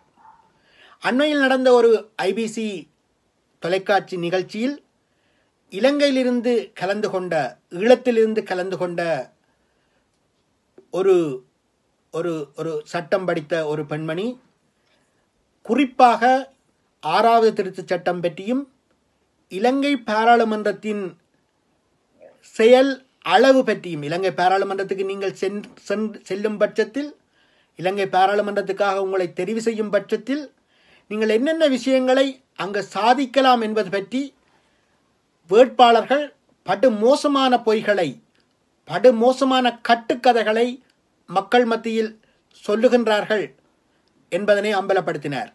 இது கூட சந்தர்ப்பவாதம் தான் விடுதலை புலிகளின் சந்தர்ப்பவாதம் என்று நாங்கள் சொல்வ சொல்லுவது அவர்கள் தொடர்ந்து போராடி இருக்க வேண்டும். யுத்த களத்தை விட்டு நீங்கி பேச்சுவார்த்தை பேச்சுவார்த்தை மேசைக்கு போயிருக்கக்கூடாது என்பது அல்ல. பேச்சுவார்த்தைகளில் கலந்து கொள்ளத்தான் வேண்டும். பேச்சுவார்த்தைகளையும் ஒரு ஒரு அரசியல் பிரச்சாரமாக சீன பெருந்தலைவர் மாவோ சேதுங் அவர்களுடன் அவர்களுடைய வார்த்தைகளில் சொல்லப்போனால் அரசியல் என்பது யுத்தம் சிந்தா ரத்தம் சிந்தாத போர் யுத்தம் என்பது ரத்தம் சிந்தும் அரசியல் என்பதனை கடைபிடித்து பேச்சுவார்த்தை மேடைகளிலும் எங்களுடைய நியாயப்பாட்டை உலகெங்கும் வாழும் ஒடுக்கப்பட்ட தேச மக்கள் மத்தியிலும் உழைக்கும் மக்கள் மத்தியிலும் பிரகடனப்படுத்த நிறைய வாய்ப்புகள் உண்டு. இது எதுவுமே இந்த நோர்வே அனுசரனுடன் நடந்த பேச்சுவார்த்தைகளில் கடைபிடிக்கப்படவில்லை இன்னும் சொல்லப்போனால் நோர்வே தலைநகரில் நோர்வே தலைநகரான ஒஸ்லோவில் பாலசிங்கம் அவர்கள் ஒப்புக்கொடுத்ததை உடனடியாகவே அந்த அந்த பேச்சுவார்த்தைகளில் சம்பந்தப்பட்டிருந்த விடுதலை புலிகளின் தொண்டர்கள் தோழர்கள் வன்னி தலைமையகத்துக்கு தெரியப்படுத்தினார்கள். அந்த ஒற்றியாட்சி முறையின் கீழ் ஒரு தீர்வை பரிசீலிப்போம் என்ற அந்த சந்தர்ப்பவாத தவறை திருத்திக் கொள்ள முயற்சித்தார்கள். மீண்டும் ஒரு பிரகடனத்தை வரைவு செய்து அதனை மத்தியஸ்தர்களிடம் கையளிக்க வேண்டும் என்று விரும்பினார்கள். அதனை கூட சமரச சக்திகள் அல்லது விடுதலை புலிகளுடைய போராட்டம் என்பதனை விடுதலை புலிகளுடைய தமிழீழ லட்சியத்திற்கு பதிலாக ஒரு சமரச தீர்வை பெற்றுக்கொள்ளலாம் என்ற நம்பிக்கையில் இருந்தவர்கள் அனுமதிக்கவில்லை என்பது அனைவருக்கும் தெரிந்த விடயமான விடயமாகும். மீண்டும் மீண்டும் தெளிவாக சொல்கின்றேன். பேச்சுவார்த்தை மேசைகளுக்கு செல்லக்கூடாது என்றோ தொடர்ந்து ஆயுதங்களை ஏந்தி நிற்க வேண்டும் என்றோ யாரும் சொல்ல மாட்டார்கள். ஆனால் நீங்கள் பேச்சுவார்த்தைகளுக்கு பேசும் போகும்போது மக்களுடைய பிரதிநிதிகளாக கண்ணீராலும் செந்நீராலும் இந்த போராட்டத்தை மக்கள்தான் உருவாக்கினார்கள் என்ற என்ற உண்மையை நெஞ்சில் சுமந்து செல்ல வேண்டும். அதிவிதம் செல்லாது. வல்லரசுகளின் பிராந்திய வல்லரசுகளின் கனவாக இருந்த பிரபாகரன் இல்லாத தமிழீழம் அரபாத் இல்லாத பாலஸ்தீனம் போன்ற கனவுகளை நிலநிறுத்த நீங்கள் திரைமறைவில் உதவி செய்தால் நீங்கள் அதன் பின்பு மக்கள் தொண்டர்களாக இருக்க மாட்டீர்கள். மேலும் நீங்கள் கேட்கின்றீர்கள் வெளிநாடுகளில் தங்கியிருந்து நாங்கள் இந்த வார்த்தைகளை சொல்லுகின்றோம். நாட்டில் சென்று இதே விஷயங்களை பேச முடியுமா என்று. இன்னும் சொல்லப்போனால் ரெண்டாயிரத்தி ஒன்பதற்கு பிறகும் மக்கள் தங்களுடைய கோபக்கனலை தங்களுடைய தங்களுடைய போராட்ட நம்பிக்கையை பல்வேறு வடிவங்களில் வெளிப்படுத்தி வருகின்றனர். உண்மை நிலைதான் அண்ணா. நிச்சயமாக மக்கள் அங்கே வீறு கொண்டு போராடுகின்ற சந்தர்ப்பங்கள் பலவற்றை நாங்கள் காண்கின்றோம். அப்படி போராடுகின்ற மக்கள் உண்மையில் நேரடியாக இன்று வரை பாதிக்கப்பட்ட காணாமல் வலிந்து காணாமலாக்கப்பட்டோர் காணாமலாகி இறந்த பிள்ளைகள் எப்படி என்று தங்களுக்கு சரியான தரவு விவரங்கள் தெரியாதவர்கள் அந்த களத்தில் நின்று இன்றும் எத்தனையோ ஆயிரக்கணக்கு நாடுகள் நாட்கள் தாண்டி போராடி கொண்டிருக்கின்றார்கள். உண்மை அவர்களுக்கு ஆதரவாக இன்னும் பல மக்கள் இன்று போராடி கொண்டிருக்கிறார்கள். இன்று மாவீரர் நாளாகட்டும் முள்ளிவாய்க்கால் நினைவேந்தல் நாளாகட்டும் எந்த ஒரு அரசியல்வாதிகளும் வாருங்கள் உணர்வுபூர்வமாக அதை நினைவு கூறுங்கள் என்று சொல்ல வேண்டிய அவசியம் இல்லாமல் மக்கள் தன்னெழுச்சியாக அவற்றை யார் தடுத்தாலும் செய்வோம் என்ற நிலையில் போராடி வருகின்ற உணர்வுள்ள மக்களாகத்தான் இருக்கின்றார்கள். மறுப்பதற்கில்லை. இந்த மக்களை நாங்கள் ரெண்டு சாராரா பிரிக்கின்ற நிலைக்கு இங்கே வந்துவிட்டோம் எங்களுடைய நாட்டை பொறுத்தவரையில். இவ்வாறு இருக்கும் ஒரு மக்கள் ஒரு பக்கம். நிச்சயமாக நீங்கள் சொல்கின்றது போல் இந்த அரசியல்வாதிகள் அனைவரும் அந்த நீதிக்காக போராடுகின்ற மக்கள் அனைவருக்காகவும் சென்று களத்தில் நிற்க வேண்டிய கட்டாய கடமைக்கு உள்ளானவர்கள்தான். ஆனால் அவர்கள் நிறைய பேர் அதை செய்யவில்லை. செய்கிறார்கள் சிலர் பலர் செய்யவில்லை. செய்யவில்லை. அவர்கள் எப்படி தீர்மானத்துக்கு வந்து விட்டார்கள்னா இது இனி கதைச்சு பேசியே ப- பிரயோசனம் இல்லாத விடயம். இதை விட்டுருவோம் அடுத்ததுக்கு போயிடுவோம் என்ற நிலையில் அரசியல்வாதிகள் இருக்கிறார்கள். ஓகே இது ரெண்டாவது. மூன்றாவது மக்கள் என்ற ஒரு நிலையில் இருக்கும்போது ஒரு ஊடகவியலாளராக நான் அங்கே சென்று என்ன மாதிரி எலெக்ஷன் வருகிறது எப்படி என்ன நிலவரத்தில் இருக்கிறீங்க நீங்கள் என்ன மாதிரி யாருக்கு போடுறதா எல்லாமே இருக்கிறீங்களான்னு கேட்டால் அவங்களுக்கு யார் யார் எலெக்ஷன் உண்மை இது யதார்த்த நிலை. யார் யார் எலெக்ஷன் கேட்கிறார்கள் என்பதில் கூட தெளிவில்லை. எத்தனை கட்சிகளில் கேட்கின்றார்கள் என்ற தெளிவும் இல்லை. ஏதோ சரி வீட்டு அவங்க தான் கொஞ்சம் கூட பேர் வந்து கொண்டிருக்கிறாங்க. அது ஏதாவது கூட பேர் வந்தால் தான் கூட பேர் இருக்கிற கட்சிக்கு போட்டால் தான் ஏதாவது கொஞ்சமாவது எங்களுக்கு நல்லது நடக்கும். என்ற நிலையில் ஏனோ தானோ பண்ணு போகிற போக்கில் நினைத்துவிட்டு தன்னுடைய வேலையை பார்க்கின்றவர்களாக மக்கள் இருக்கின்றார்கள். இவர்களிடம் இந்த அரசியல் விழிப்புணர்வுகளை எப்படி கொண்டு செல்வது என்ன செய்வது என்று நீங்கள் கருதுகிறீர்கள்? சாதாரண தமிழ் பேசும் மக்களில் பெரும்பான்மையோர் இந்த தேர்தலை மௌனங்களாலேயே புறக்கணிக்கின்றனர்.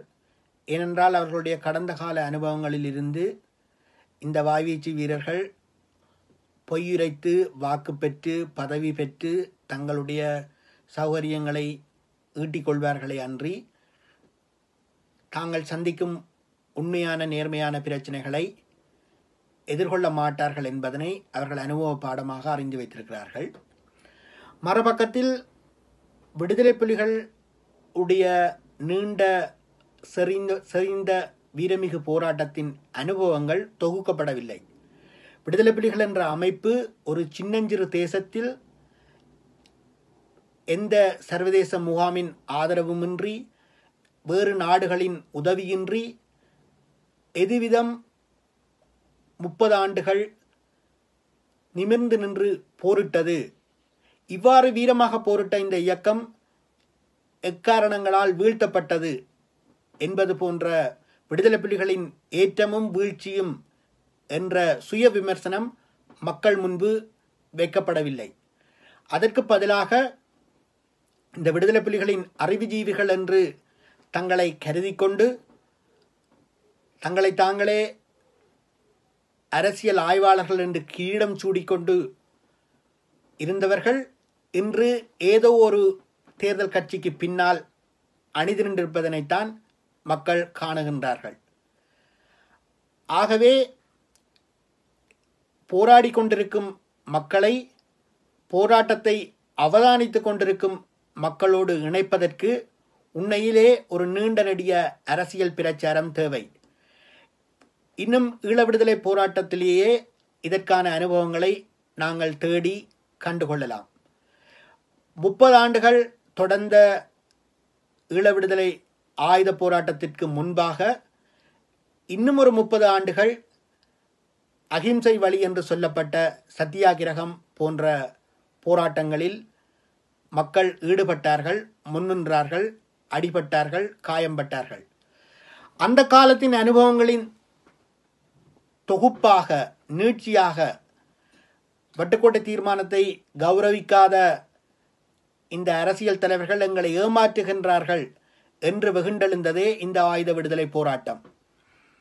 அதுபோல கிட்டத்தட்ட எழுபத்தேழாம் ஆண்டு இந்த கூட்டணியினர் மக்களை கைவிட்டதன் பின்பாக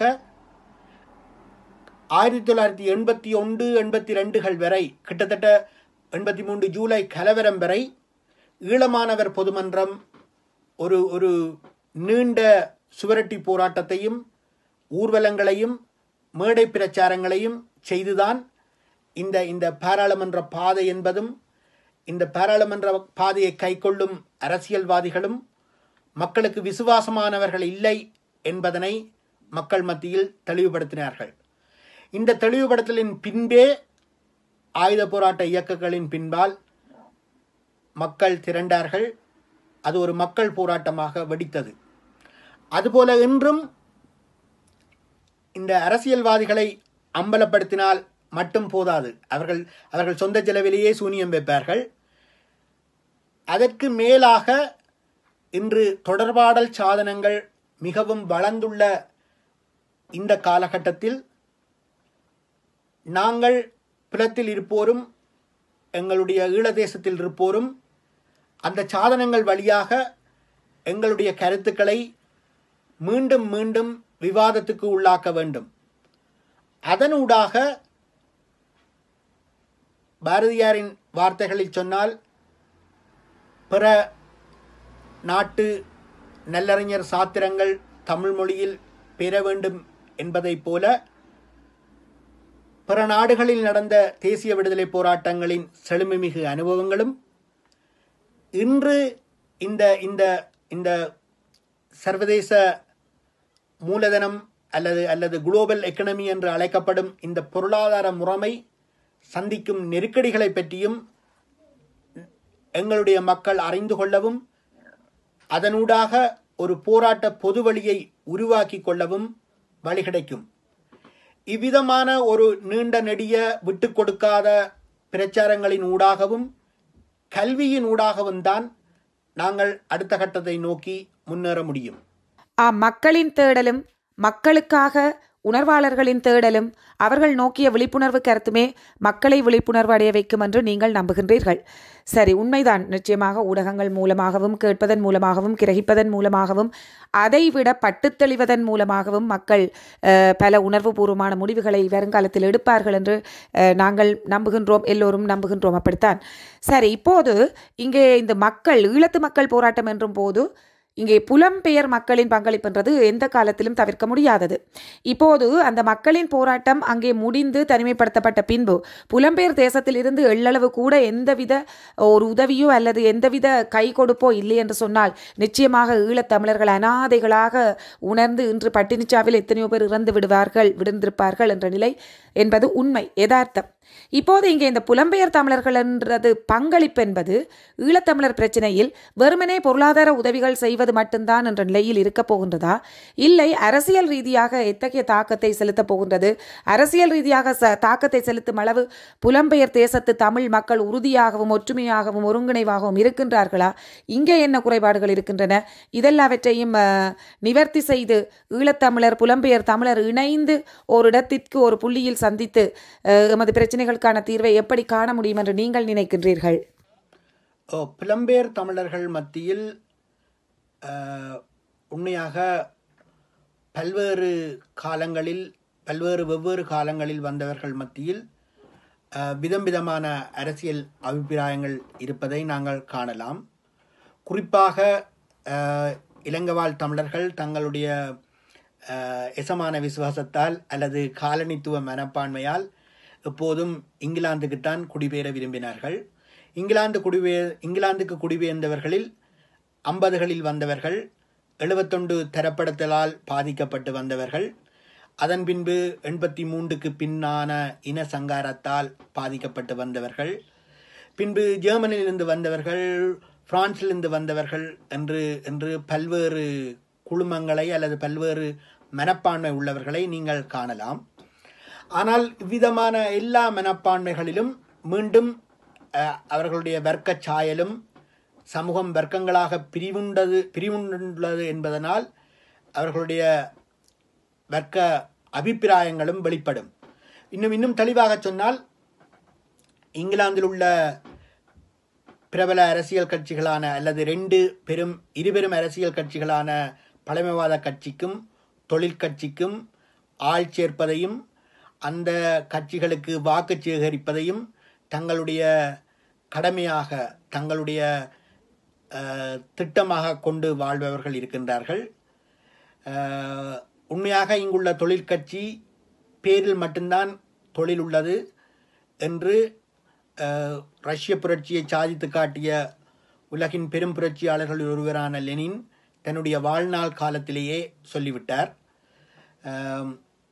சர்வதேச கம்யூனிஸ்ட் அகிலத்தில் அங்கம் பெற விரும்பிய பிரிட்டிஷ் தொழிலாளர் கட்சி அதற்காக தோழர் லெனினை அணுகிய போது அவர் சொன்னாராம் உங்களுக்கு பேரில் மட்டும்தான் தொழிற்கட்சி என்று இருக்கின்றது. மற்றும்படி நீங்கள் தொழிலாளர்களுடைய நலன்களை பிரதிபலிப்பதில்லை என்று சொன்னாராம். அதுபோல இங்குள்ள வாக்கு பொறுக்கும் கட்சிகளை சார்ந்து இயங்குபவர்கள் பெரும்பாலும் ஈழதேசிய விடுதலையை தங்களுடைய தேர்தல் தங்களுடைய விஞ்ஞாபனத்தில் அல்லது தங்களுடைய அனுபந்தத்தில் இணைத்துக் கொள்வதில்லை. அவர்கள் ஈழ விடுதலையை பொறுத்த வரைக்கும் அங்குள்ள தேர்தல் கட்சிகளை சார்ந்து அல்லது அல்லது ஏக்கரட்டையாவை மறைமுகமாக ஏற்றுக்கொண்டே இருக்கின்றனர். ஆனால் ஈழ விடுதலை என்பது ஒரு உலக நாடுகளோடு ஒப்பிடும்போது உலக நாட்டு விடுதலை போராட்டங்களோடு ஒப்பிடும்போது நாங்கள் செய்த தியாகம் புள்ளி விவர அடிப்படையிலும் சரி உணர்வு அடிப்படையிலும் சரி மிகவும் மேலானது. தீவிரமான அரசியல் ஆய்வாளர்களின் கருத்துப்படி ஐரோப்பிய கண்டத்திற்கு எப்படி அயர்லாந்து மக்களுடைய போராட்டம் ஒரு எரியும் பிரச்சனையோ அதுவிதமே ஆசியா கண்டத்தில் ஈழ விடுதலை பிரச்சனை என்று சொல்வார்கள். இன்றும் வெளிநாடுகளிலிருந்து இலங்கை சென்று புத்திஜீவிகளை சந்திக்கும் இந்த வெளிநாட்டு அறிவாளிகள் கேட்கும் கேள்வி மீண்டும் இந்த போராட்டம் எப்போது வெடிக்கும் என்பதாகவே இருக்கின்றது.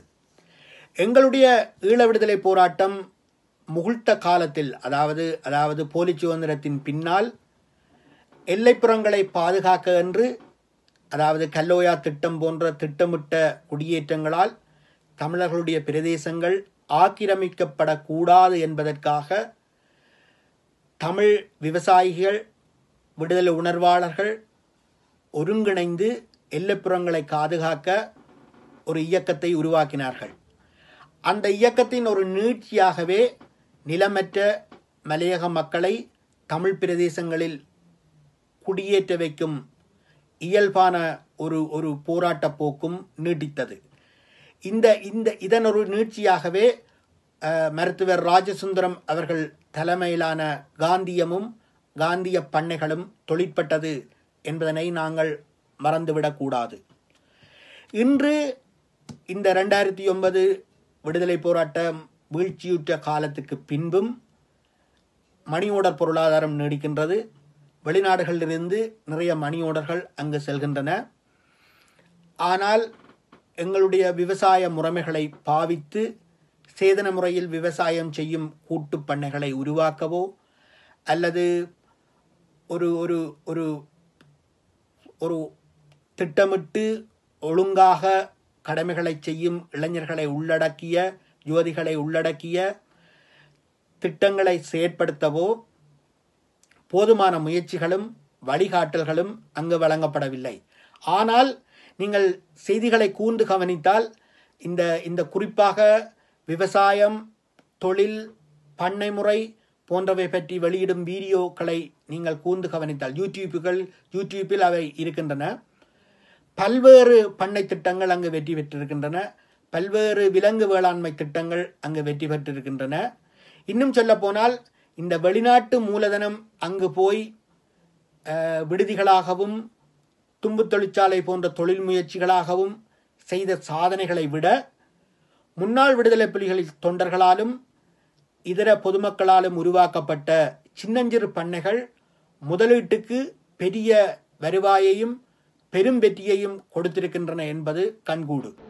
இந்த தேர்தல் சமயத்தில் பொன்னரின் பேரனுக்காக நிதி சேகரித்து அனுப்பும் கணவான்கள் அதற்கு பதிலாக நிலமிழந்து தவிக்கும் மக்களுக்காகவும் எதிர்கால ஜீவனோபாயத்திற்கு வழி தேடும் முன்னாள் விடுதலை போராளிகளுக்காகவும் எங்களுடைய பிரதேச பறிப்புக்கு எதிராகவும் தென்னவன் மரவாடி கொக்குளாய் நாயாறு போன்ற பிரதேசங்களில் விவசாய திட்டங்களை பண்ணை திட்டங்களை அந்த வளம் மிகுந்த மண்ணில் உருவாக்க முடியும். இவ்வாறு உருவாக்கப்படும் திட்டங்கள் எங்களுடைய தேசத்தின் எல்லைகளை மட்டுமல்ல எங்களுடைய தேசத்திற்காக போராடிய வீரமிகு மக்களின் எதிர்கால சுபீட்சத்தை நிச்சயப்படுத்தும். அண்மையில் ஒரு மூன்று நான்கு வருடங்களுக்கு முன்பாக எனது ஊரைச் சேர்ந்த ஒரு ஒரு ஒரு சிறுபெண் இராணுவ காவலில் நீண்ட காலம் தடுத்து வைக்கப்பட்டு கிட்டத்தட்ட ஏழு ஆண்டுகள் அவர் தடுத்து வைக்கப்பட்டிருந்தார். அதற்கு காரணமாக அவர்கள் பொட்டம்மானின் அணியில் அவர் இருந்தார் என்று கூறினார்கள். அந்த அந்த பெண் பிள்ளை தனது ஊருக்கு திரும்பி வந்தபோது அவருடைய சுற்றத்தவரோ அவருடைய நண்பர்களோ அந்த ஊரில் இருக்கவில்லை. மீண்டும் தன்னுடைய தோழர்களைத்தான் அவர் நாடிச் சென்றார். தோழர்களின் உதவியோடு வெளிநாடுகளில் நண்பர்களை தொடர்பு கொண்டு ஒரு தையல் கலையை பயிலுவதற்கு தையல் கலை பயிலும் சாதனங்களை பெறுவதற்கு இலங்கை பணத்தில் ஒரு பத்தாயிரம் ரூபாயையும் யாழ்ப்பாணத்தில் தங்கி இருந்து அந்த தையல் கலையை பயிலுவதற்கு ஒரு பத்தாயிரம் ரூபாவாக்காகவும் அவர் மிகவும் கஷ்டப்பட்டார். ஆனால் விடுதலை போராட்டத்தில் தலைவர்களாக பேச்சுவார்த்தை மேசைகளுக்கு சென்றவர்கள் வெளிநாடுகளில் இன்னும் மாட மாளிகைகள் கூட கோபுரங்களோடு வாழ்வதும் ஒரு மில்லியன் பவுண்ட்ஸுக்கு சீட்டு கட்டுவதும் நடக்கின்றது என்பது மிகவும் வேதனையான ஒரு சம்பவமாகும். இவ்வகையான சம்பவங்களை நாங்கள் நீடி நீட்டிக்க விடக்கூடாது. ஏனென்றால் இந்த தேசம் மாவீரர் கால் பதிந்த தேசம் என்பதை நாங்கள் எந்த கடத்திலும் மறந்துவிடக்கூடாது இன்னும் சொல்லப்போனால் இதுவகையில் எழுபதுகளிலும் எண்பதுகளிலும் செய்யப்பட்ட குடியேற்றங்களின் ஊடாகத்தான் பிற்கால விடுதலை போராட்டத்தின் வீரமிகு போராளிகளான பாலசேகரம் என்று அழைக்கப்பட்ட பால்ராஜ் அண்ணனும் தமிழீழ மகளிர் அரசியல் துறை பொறுப்பாளராக இருந்த தமிழினி அவர்களும் எமது பிரதேசத்துக்கு வந்து குடியேறினார்கள் என்பதனையும் நாங்கள் வரலாற்று பாடங்களை மறந்துவிடக்கூடாது. நல்லது திரு மயில்வாகனம் அருள்குமார் அவர்களே நிறைய கேள்விகள் நிறைய சந்தேகங்கள் பொதுவான விமர்சனங்கள் யார் யாரிலெல்லாம் விமர்சனங்கள் வைக்க வேண்டுமோ தெளிந்த மனதோடு தெளிய பார்வையோடு அந்த விமர்சனங்களை முன்வைப்பதன் மூலம் பிறருக்கும் தெளிவை தந்தீர்கள். நிச்சயமாக ஒரு சிறந்த நேர்காணலாக இது அமைந்திருக்கின்றது. அதற்காக உங்களுக்கு மிக்க மிக்க நன்றி. இதழ் டிஎன்டி ஆர் குடும்பத்தவர் சார்பில் இந்த அரசியல் நேர்காணலில் இணைந்து கொண்டமைக்காக நாங்கள் மனதார்ந்த நன்றிகளை தெரிவித்துக் கொள்கின்றோம். இன்னும் நீங்கள் மக்களிடமிருந்து விடைபெறும் நேரம் இது. உங்கள் மனக்கிடக்கைகள் சிலவற்றை சொல்லி விடைபெறும் நேரம் இது. விடைபெற்றுக் கொள்ளலாம். மிக்க நன்றி. உண்மையில் மக்கள் மனங்களில் உள்ள கேள்விகளைத்தான் நீங்கள் பிரதிபலித்தீர்கள். இன்னும் சொல்லப்போனால் ஒரு புலம்பெயர் நாடுகள் ஒன்றில் இருந்து கொண்டு ஒரு குடும்ப தலைவியாகவும் ஒரு வேலைக்கு செல்லும் நபராகவும் இருந்து கொண்டு உங்களுடைய அவதானத்திறனின் ஊடாகவும் தொடர்ச்சியான வாசிப்பாலோ என்னவோ நீங்கள் இங்கும் புலத்திலும் சரி நிலத்திலும் சரி என்ன நடந்து கொண்டிருக்கின்றது என்பதை பற்றி ஒரு தெளிவான மதிப்பீட்டில் இருக்கின்றீர்கள். இது இது மிகவும் பாராட்டத்தக்க வரவேற்பட வரவேற்கத்தக்க ஒரு விஷயம். சீன பெருந்தலைவர் மா செய்துங் அவர்களுடைய வார்த்தைகளில் சொன்னால் மக்கள் தம் தேவையிலிருந்தே புரட்சி செய்கின்றார்கள். அதுவிதம் புரட்சி செய்வதற்கு தூண்டுதலாகவும் அனுசரணையாகவும் அந்த சமூகத்தின் வளர்ந்த பிரிவு அல்லது அந்த அந்த மக்களிடையே இருந்து மக்களுடைய உதவியால் முன்னேறிய பிரிவாக தம்மை வளர்த்து கொண்ட பிரிவு விசுவாசமாகவும் மெய்யாகவும் கடமையாற்ற வேண்டும் என்று அவர் சொன்னார். அதுபோல வியட்நாம் விடுதலையை சாதித்து காட்டிய அங்குள் ஹோ என்று அழைக்கப்பட்ட ஹோசிமின் அவர்கள் மக்களிடம் உண்மையை சொல்லுங்கள் அவர்கள் தீர்மானிப்பார்கள் என்று சொன்னார். எமது மண் கூட ஒன்றும் சளைத்ததல்ல. எமது மண்ணின் விடுதலை கவிஞனாகவும் மொழியாகி விடுதலை மூச்சாகி நின்றதற்காக இலங்கை அரசால் காணாது போகச் செய்யப்பட்டவருமான விடுதலை புலிகளின் மூத்த உறுப்பினரும் ஈழமண்ணின் மாபெரும் கவியுமான புதுவரத்ததுரை அவர்களுடைய வாசகங்களில் சொன்னால் விடாதே ஊதிக்கொண்டிரு அதனைத்தான் நாங்கள் செய்து கொண்டிருக்க வேண்டும். எல்லோருடைய மனங்களிலும் சாம்பல் படிந்து தணலாக இருக்கும் விடுதலை கனவையும் அதனுடைய தேவையையும் உணர்த்துவது மட்டுமே எங்கள் பணி. லண்டன் மாநகரத்தின் வரலாற்றில் லண்டன் பாராளுமன்றத்துக்கு முன்பாக இங்கிலாந்து பாராளுமன்றத்துக்கு முன்பாக நாடாளுமன்ற அரசியல் முறையையே கண்டுபிடித்த நாடாளுமன்றத்துக்கு முன்பாக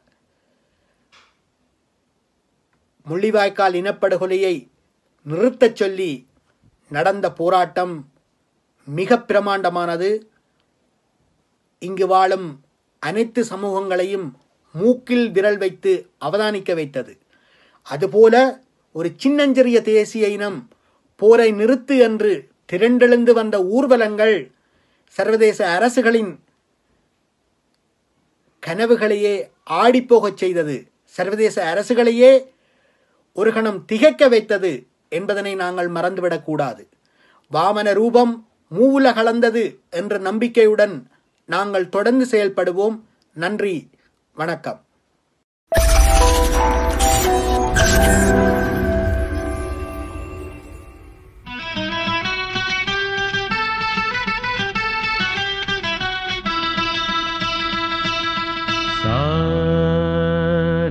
सा नि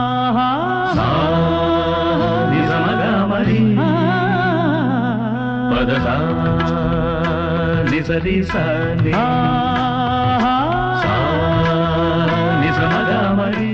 கவிதை தென்றல்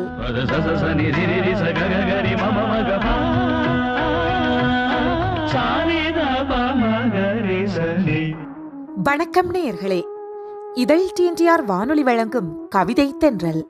தொகுப்புடன் நான் உங்கள் அன்பின் அனு. இன்று நமது நிகழ்ச்சிக்கு அழகு சேர்க்கும் கவிதைகளுக்கு சொந்தக்காரர் தாயகம் கிளிநொச்சி டி த்ரீ பன்னங்கண்டி என்ற அழகிய கிராமத்திலிருந்து பாடலாசிரியர் கவிஞர் சமூக சேவையாளர் திரு தே பிரியன். தேசப்பிரியன் இவரது புனைப்பெயர். தமிழ் பெற்ற நற்குழந்தையாய் தன் பொறுப்புணர்ந்து தமிழுக்காய் படைப்புகள் பலவற்றை இடைவிடாது தந்து கொண்டிருக்கும் முயற்சியாளன். வாழ்வதற்கு தொழில் விவசாயம் அதிலும் கூட இளையோருக்கு நல்ல எடுத்துக்காட்டு இவர். ஓடும் செங்குருதி தமிழாராய் பெருகும் நீரும் நெற்றியில் தமிழேடாயிருக்கும் வாழும் தமிழர்களின் பாடுகள் உடைப்போம் எழுத்தாணி பிடித்து நல் வாழ்வைச் சமைப்போம். போடா என்றவனை தீயில் போட்டு பொசுக்குவோம் தமிழ் கூடாயிருந்து தமிழ் மக்களை காப்போம். அட இது என்ன நாடா என்பான். அவன் ஒரு நாள் நாயாய் அலைவான். நம் வாழ்வாய் அணைத்து அவனை நல்வழி காட்டி நிமிர்வோம். இது நம் பண்பாடு. கவிநடையில் தன் மொத்த கொள்கைகளையும் சொல்லி நிற்கும் கவிஞர் தேசப்பிரியன் பற்றி இன்னும் பல உண்டு சொல்வதற்கு அதற்கு முதல் நிகழ்ச்சியை ஆரம்பிக்க அவரின் கவிதைகள் சில. தமிழை போற்றியும் தமிழரின் கடமை உணர்த்தியும் தேசப்பிரியன் தரும் முதல் கவிதை கவிதை தென்றலுக்காய். நெறிதனை காக்கும் கொள்கையின் காவலன் அருந்தமிழ் பயில்வானே புதுமைகளாக்கும் நற்றமிழ் புலவன் பொற்றமிழ் காப்பானே. நெறிதனை காக்கும் கொள்கையின் காவலன் அருந்தமிழ் பயில்வானே புதுமைகளாக்கும் நற்றமிழ் புலவன் பொற்றமிழ் காப்பானே. தமிழர்தம் கடமையை இவ்வாறு சொன்னவர் இனி நிரந்தர வடுவாய் வலியாய் ஈழத்தமிழர் வாழ்வில் பதிந்துவிட்ட மே மாதம். அந்த வலிகளையும் இப்படி பாடுகிறார். மே மாதம். எங்களிடம் எதுவும் இருக்கவில்லை. ஏன்?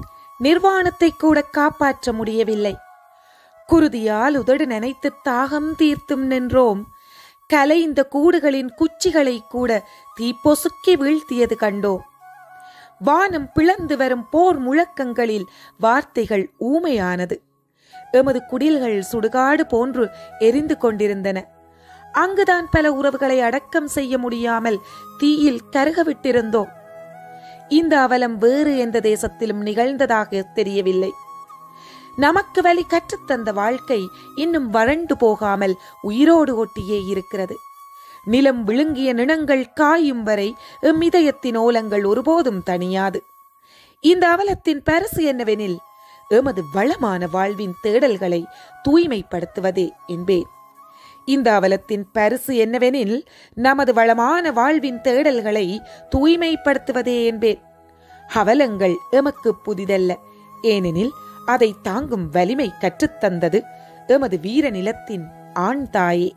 அவலங்கள் எமக்கு புதிதல்ல. ஏனெனில் அதை தாங்கும் வலிமை கற்றுத்தந்தது எமது வீர நிலத்தின் ஆண் தாயே. என்று இயலாமையிலும் வீரம் சொட்டும் வார்த்தைகளால் வரிகளை முடித்தவர். இனி இன்னும் பசித்திருக்கின்றோம். ஊருக்கு திரும்பியும் என்று இவ்வாறு தொடர்கின்றார். இங்கு பசித்திருப்பது வேறு யாருமல்ல நாங்கள்தான். தெரித்து விழுந்த செல் துண்டுகளில் எப்படியாவது தப்பித்து ஒரு பிடி உணவை வாங்கிவிட வேண்டும் என்று ஓடினோம். சூறாவளியை எதிர்கொள்ளும் இந்த பிஞ்சுகளின் வல்லமைகளை யார் கற்றுக் கொடுத்தது? நம் மண்தானே? தூரத்தே தெரியும் விடியல் ஒன்றிற்காக இங்கே அவலப்படும் வலிகளை எப்படி பாடுவது? காவு கொள்ளப்பட்ட நிலத்தின் பசியுடன் உயிர் வாழ்தலுக்கான எமது பசியும் வீச்சு கொள்கிறது. ஆயினும் இன்னும் விடியாத பொழுதொன்றுக்காய் இன்றும் பசித்திருக்கின்றோம் ஊருக்கு திரும்பியும். வயிற்றின் கொடும் பசி தாண்டி மனதின் பெரும் பசி இது. தாகங்கள் தீர்க்கப்படாத உணர்வுகளின் பாடல் குரல் எடுத்துக் கொண்டிருக்கிறது. விரும்பி அணைத்த லட்சிய வேகம் எங்கள் நெஞ்சத்தினுள் இன்னும் சுடர்விட்ட வண்ணம். அரும்பும் சிரிப்புடன் தமிழ் மானம் காத்தவர் அவர் தம் போதனைகளோடு நாம் தினமும் வருங்காலம் ஒன்றை எதிர்பார்த்தபடி. அரும்பும் சிரிப்புடன் தமிழ் மானம் காத்தவர் அவர் தம் போதனைகளோடு நாம் தினமும் வருங்காலம் ஒன்றை எதிர்பார்த்தபடி என்று லட்சிய வேட்கையோடு முடிக்கின்றார்.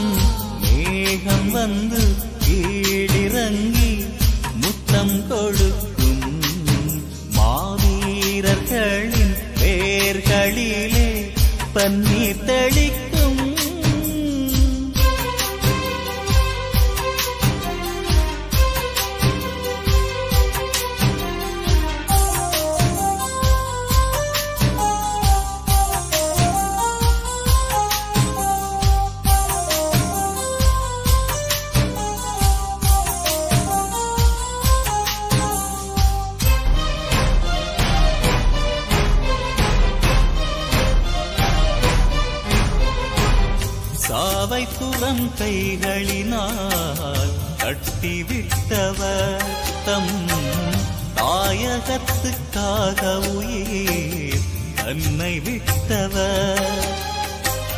கோபவிழி கொண்டு களம் மீது தொட்டவர். பகை கோட்டை பொடியாக உயிர் வீசிவிட்டவர். தீப ஒளியேற்று அந்த செல்வங்களை போற்று. தீப ஒளியேற்று அந்த செல்வங்களை போற்று. காவல் தெய்வமானவரின்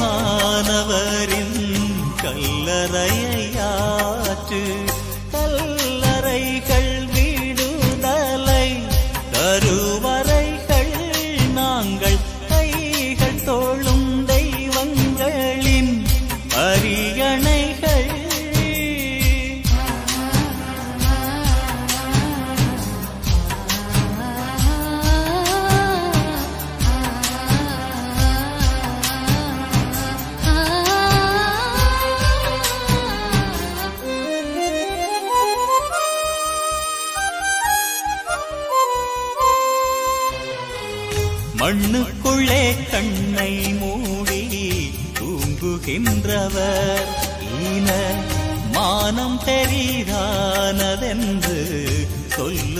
நின்றவர்.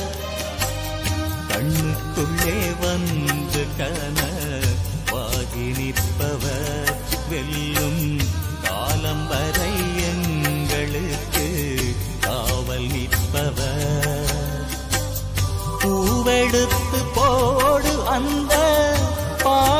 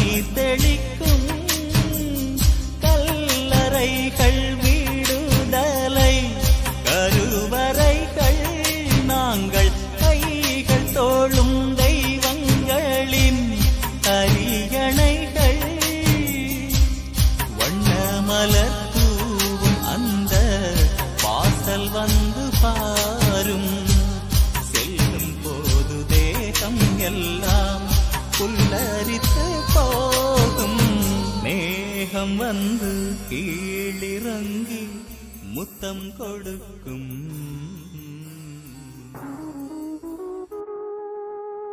மண்வாசனை கவிஞர் தேசப்பிரியனின் கவிதைகளும் அதற்கு பொருத்தமாய் பாடல்களும் இதழ் சீன்றியார் வானொலியில் ஒலித்துக் கொண்டிருக்கின்றன. இவரின் முதற் கவிதையே கிளிநொச்சி கனகாம்பிகை ஆலய குளத்தில் தென்பட்ட ஆதவனின் அழகை கண்டு உதித்ததாலோ என்னமோ அவர் புகழும் என்று ஆதவன் ஒளி போல் பிரகாசிக்கின்றது. இதுவரை அறுபது பாடல்கள் எழுதியுள்ளார். அதில் பத்து பாடல்கள் இசை வடிவம் பெற்றுள்ளன. முதற் பாடலை தன் மண் மீது கொண்ட அதீத நேசிப்பினால் தனது கிராமத்தின் நுழைவாயிலில் அமைந்திருந்து அருள் பாலிக்கும் விநாயகரை துதித்து பாடியுள்ளமை மிக்க மன நிறைவு என சொல்லி பெருமைப்பட்டுக் கொள்ளும் பிரியனின் அடுத்த கவிதைகள் இப்போது. இதமான வரிகளில் அழகான காதல் கவிதை ஒன்று தேசப்பிரியனிடமிருந்து. இரவினை உலர்த்தும் இமைகளின் இருமாப்பு கனவினை தளர்த்தும் புன்னகையின் உயிர் துடிப்பு.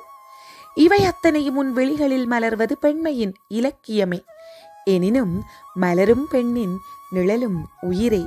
என்று உருகியவர் அடுத்து நிசப்தத்தில் தொலைந்து போகாத பொழுதுகள் இசையின் நிலங்களில் படர்ந்து கொண்ட தழுவல்கள் முழு மனமும் ஆக்கிரமிக்கப்பட்ட காதலின் உணர்வுகளில் மீட்டப்படுகின்றன. பெரும் சுகந்தத்திலூறி தனிமையில் ஆற்றிடும் கனவுகளின் பூரிப்பு உயிர் பெறும் காதலின் தீர்வில் மிதந்து அர்த்தப்படும். பெரும் சுகந்தத்தில் ஊறி தனிமையில் ஆற்றிடும் கனவுகளின் பூரிப்பு உயிர் பெறும் காதலின் தீர்வில் மிதந்து அர்த்தப்படும் என்று காதலை அர்த்தப்படுத்தி பின் அதன் பிரிதலை இப்படி பாடுகின்றார். புழக்கத்தில் இல்லாத காதலுடன் காலத்தை கழிக்கிறேன். அவற்றை வழக்கத்திற்கு கொண்டு வர ஆனபோதும் எங்கேனும் இருந்து விட்டால் எனும் ஏக்கம் தொலையாத நாட்களை எண்ணி நகர்கிறேன். மீதமிருக்கும் பொழுதுகள் இறப்பதற்கு முன் என் நிறைஞ்சலை உனக்கு சமர்ப்பிக்கின்றேன். எப்படியாவது உன்னை வந்தடையும் அவை. என் நொறுக்கப்படாத ஆழ்மனதை சிறப்பிப்பதற்காக. மீதமிருக்கும் பொழுதுகள் இறப்பதற்கு முன் என் இறைஞ்சலை உனக்கு சமர்ப்பிக்கின்றேன். எப்படியாவது உன்னை வந்தடையும் அவை. என் நொறுக்கப்படாத ஆழ்மனதை சிறப்பிப்பதற்காக.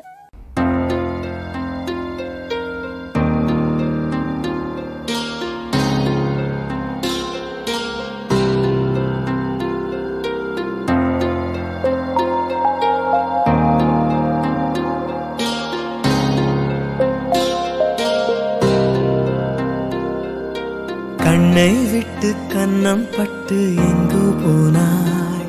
என் கண்ணீரே என் கண்ணீரே வானம் விட்டு என்னை தொட்டு நீயே வந்தாய்.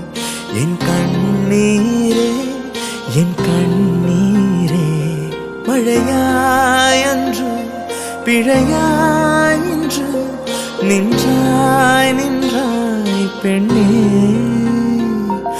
இசையாய் அன்று கசையாய் என்று கொன்றாய் கொன்றாய் பின்னே.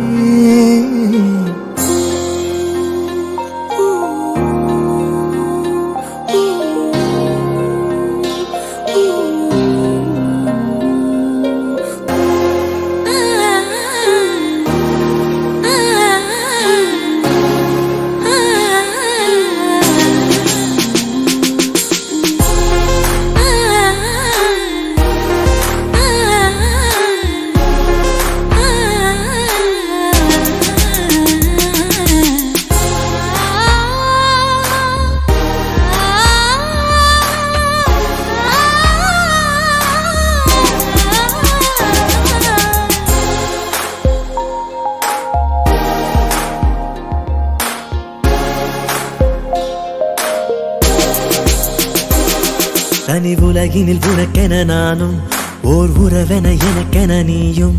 அழகாய் பூத்திடும் என் வானமாய் நீயே தெரிந்தாயே. உன் விழியினி எனதென கண்டேன் என் உயிரினி நீ என கொண்டேன். நான் கண்ணிமைக்கும் நோடியினில் பிரிந்தாயே திடமாய் தூங்கினேன் ஏன் எழுப்பி நீ கொன்றாய் அன்பே? கனவில் இனித்த நீ ஏன் நிஜத்திலே கசந்தாய் பின்பே? யார் யாரோ போலே நாம் இங்கே நம்முள் போத்த காதல் எங்கே?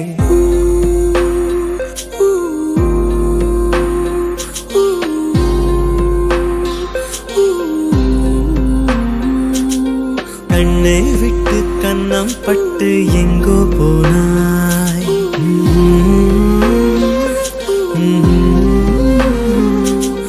வானம் விட்டு தொட்டு என்னை தொட்டு நீ வந்தாய்.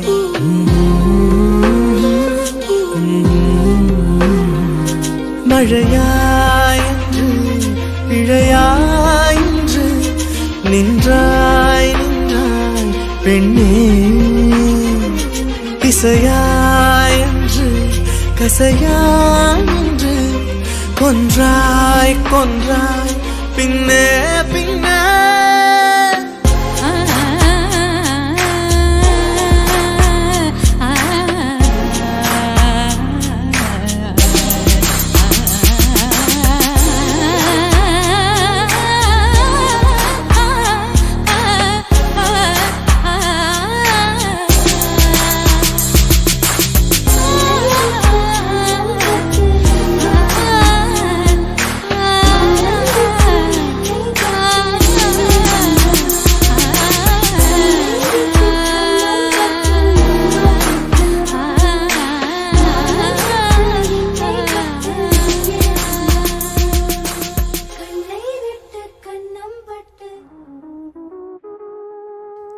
கவிஞர் தேசப்பிரியனின் கவிதைகளோடு வீசிக் கொண்டிருப்பது கவிதை தென்றல். தந்து கொண்டிருப்பது இதழ் டி என் டி ஆர் வானொலி. ஆழமாய் இலக்கிய பரப்பில் தடம் பதித்து பயணித்தாலும் ஆரம்பத்தில் கை கொடுக்கும் நல்ல நண்பர்கள் ஒரு கவிஞனோ கலைஞனோ பெற்ற பெருவரம் தானே? இவருக்கும் வரமாய் பல நண்பர்கள் உண்டு. தயக்கத்துடன் தொடங்கிய இலக்கிய பயணத்தை தட்டி கொடுத்து ஊக்குவித்த முதல் நண்பர் தர்ஷன் என்றும் இலக்கியத்தை கற்பித்து மெருகேற்றியவராக கரைச்சி பிரதேச செயலகத்தின் முன்னாள் கலாசார உத்தியோகத்தர் சைவ புலவர் கவிக்கோ ரஜீவன் எனவும் இன்னும் தன் முதல் பாடலை இசையமைத்த மலையவன் செயல்வீரன் மற்றும் பாடகர்கள் சந்திரமோகன் கரோலின் என்பவர்களை எல்லாம் மிகுந்த நன்றியோடு நினைவு கூறுகின்றார் கவிஞர் தேசப்பிரியன். காணொளி பாடல் படைப்புகளாக கொண்டைக்காரி தாரகையே என்பனவும் பக்தி பாடல்கள் பலவும் புரட்சி பாடல்களும் பாடல் வடிவ படைப்புகளாய் மிளிர்கின்றன. கூடவே வேடிக்கை தளிர் என்ற இரு குறும்படங்களையும் இயக்குனர் அவதாரம் எடுத்து தமிழுக்கு தந்திருக்கின்றார் நமது இன்றைய கவிஞர் தேசப்பிரியன்.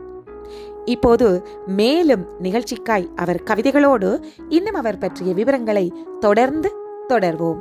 தேசப்பிரியன் கவிஞர் மட்டுமல்ல பாடலாசிரியர் என்றும் சொன்னோம் இல்லையா? அதனால் அவர் சந்தம் சொல்லி பாடும் சிந்து ஒன்றை இப்போது கேட்போமா?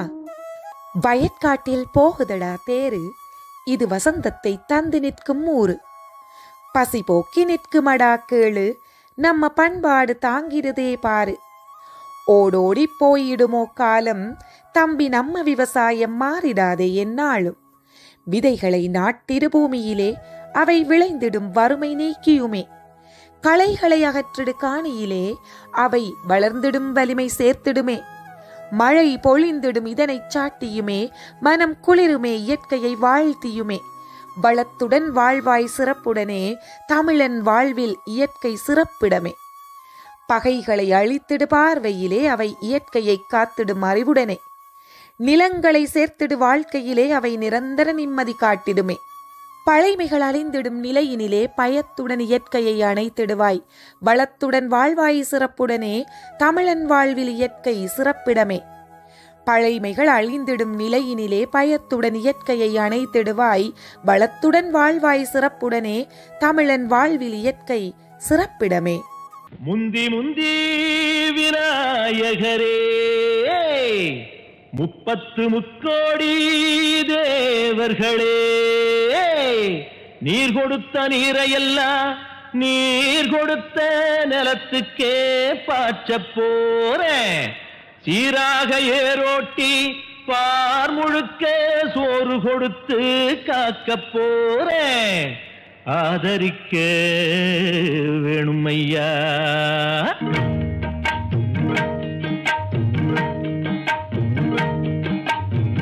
வேணும் ஐயா ஏத்தம்மையா ஏத்தம் ஏரோலங்கடி ஏத்தம்மையா ஏத்தம் ஏத்தம்மையா ஏத்தம் ஏரோலங்கடி ஏத்தம்மையா ஏத்தம் எங்கப்ப ஒம்பாட்ட முப்பாட்டன் சொத்து எது ஏத்தம்மையா ஏத்தம் ஏலோலங்கடி ஏத்தம்மையா ஏத்தம் ஏழோரங்கடி ஏத்தம்மையா ஏத்தம் ஏலோலங்கிடி ஏத்தமையா ஏத்தோ. உனக்கு ரொம்ப ஏத்தமையா ஏத்தோ உனக்கு ரொம்ப ஏத்தமையா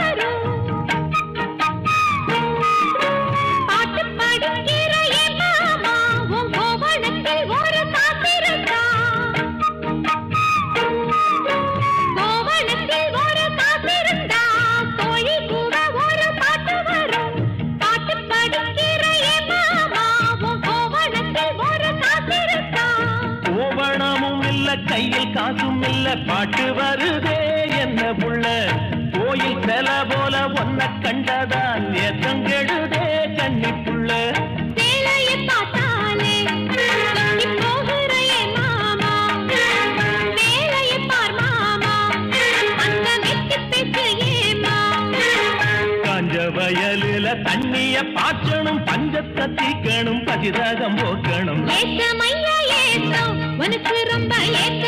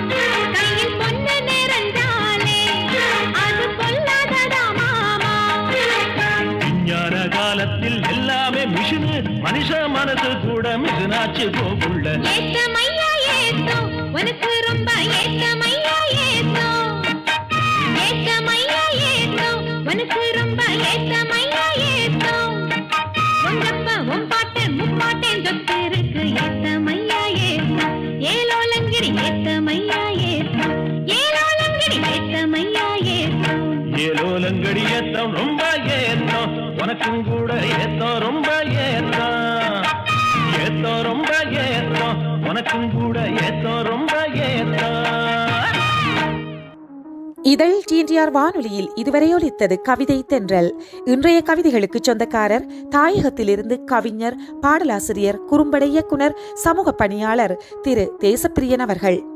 இலக்கிய படைப்புகளில் மட்டும் சிறந்தவரல்ல அவர் மனிதநேயம் கொண்ட சமூக பணியாளர் தமிழ் பற்றாளரும் கூட.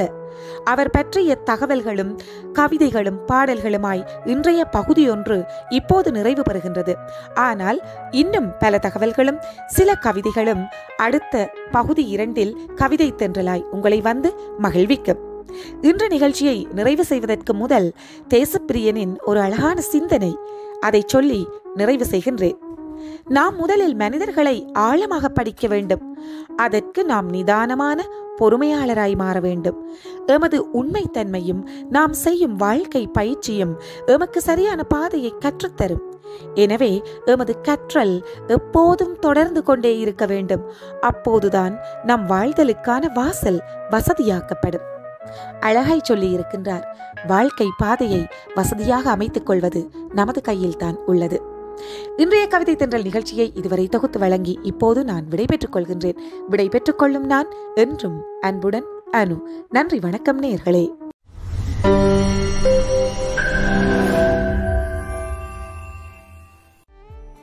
இத்துடன் இதழ் டிஎன்டிஆர் நேரலை நிகழ்ச்சிகள் யாவும் இனிதே நிறைவடைந்தன. மீண்டும் நாளை இன்னும் சிறப்பான இனிமையான நிகழ்ச்சிகளோடு இதழ் டிஎன்டிஆர் ஒலி ஒளிபரப்புகள் உங்கள் இல்லங்கள் நாடி வரும். இன்றைய பொழுது மட்டுமல்ல எல்லா நாட்களும் அனைவருக்கும் இனிதாகவும் மகிழ்ச்சியாகவும் நிம்மதியாகவும் அமையட்டும். இதழ் டிஎன்டிஆர். நமக்கு நாமே ஊடகமாக இன்றைய நிகழ்ச்சியிலிருந்து விடைபெற்றுக் கொள்வது ரவிசக்தி ரவிச்சந்திரன். நன்றி வணக்கம்.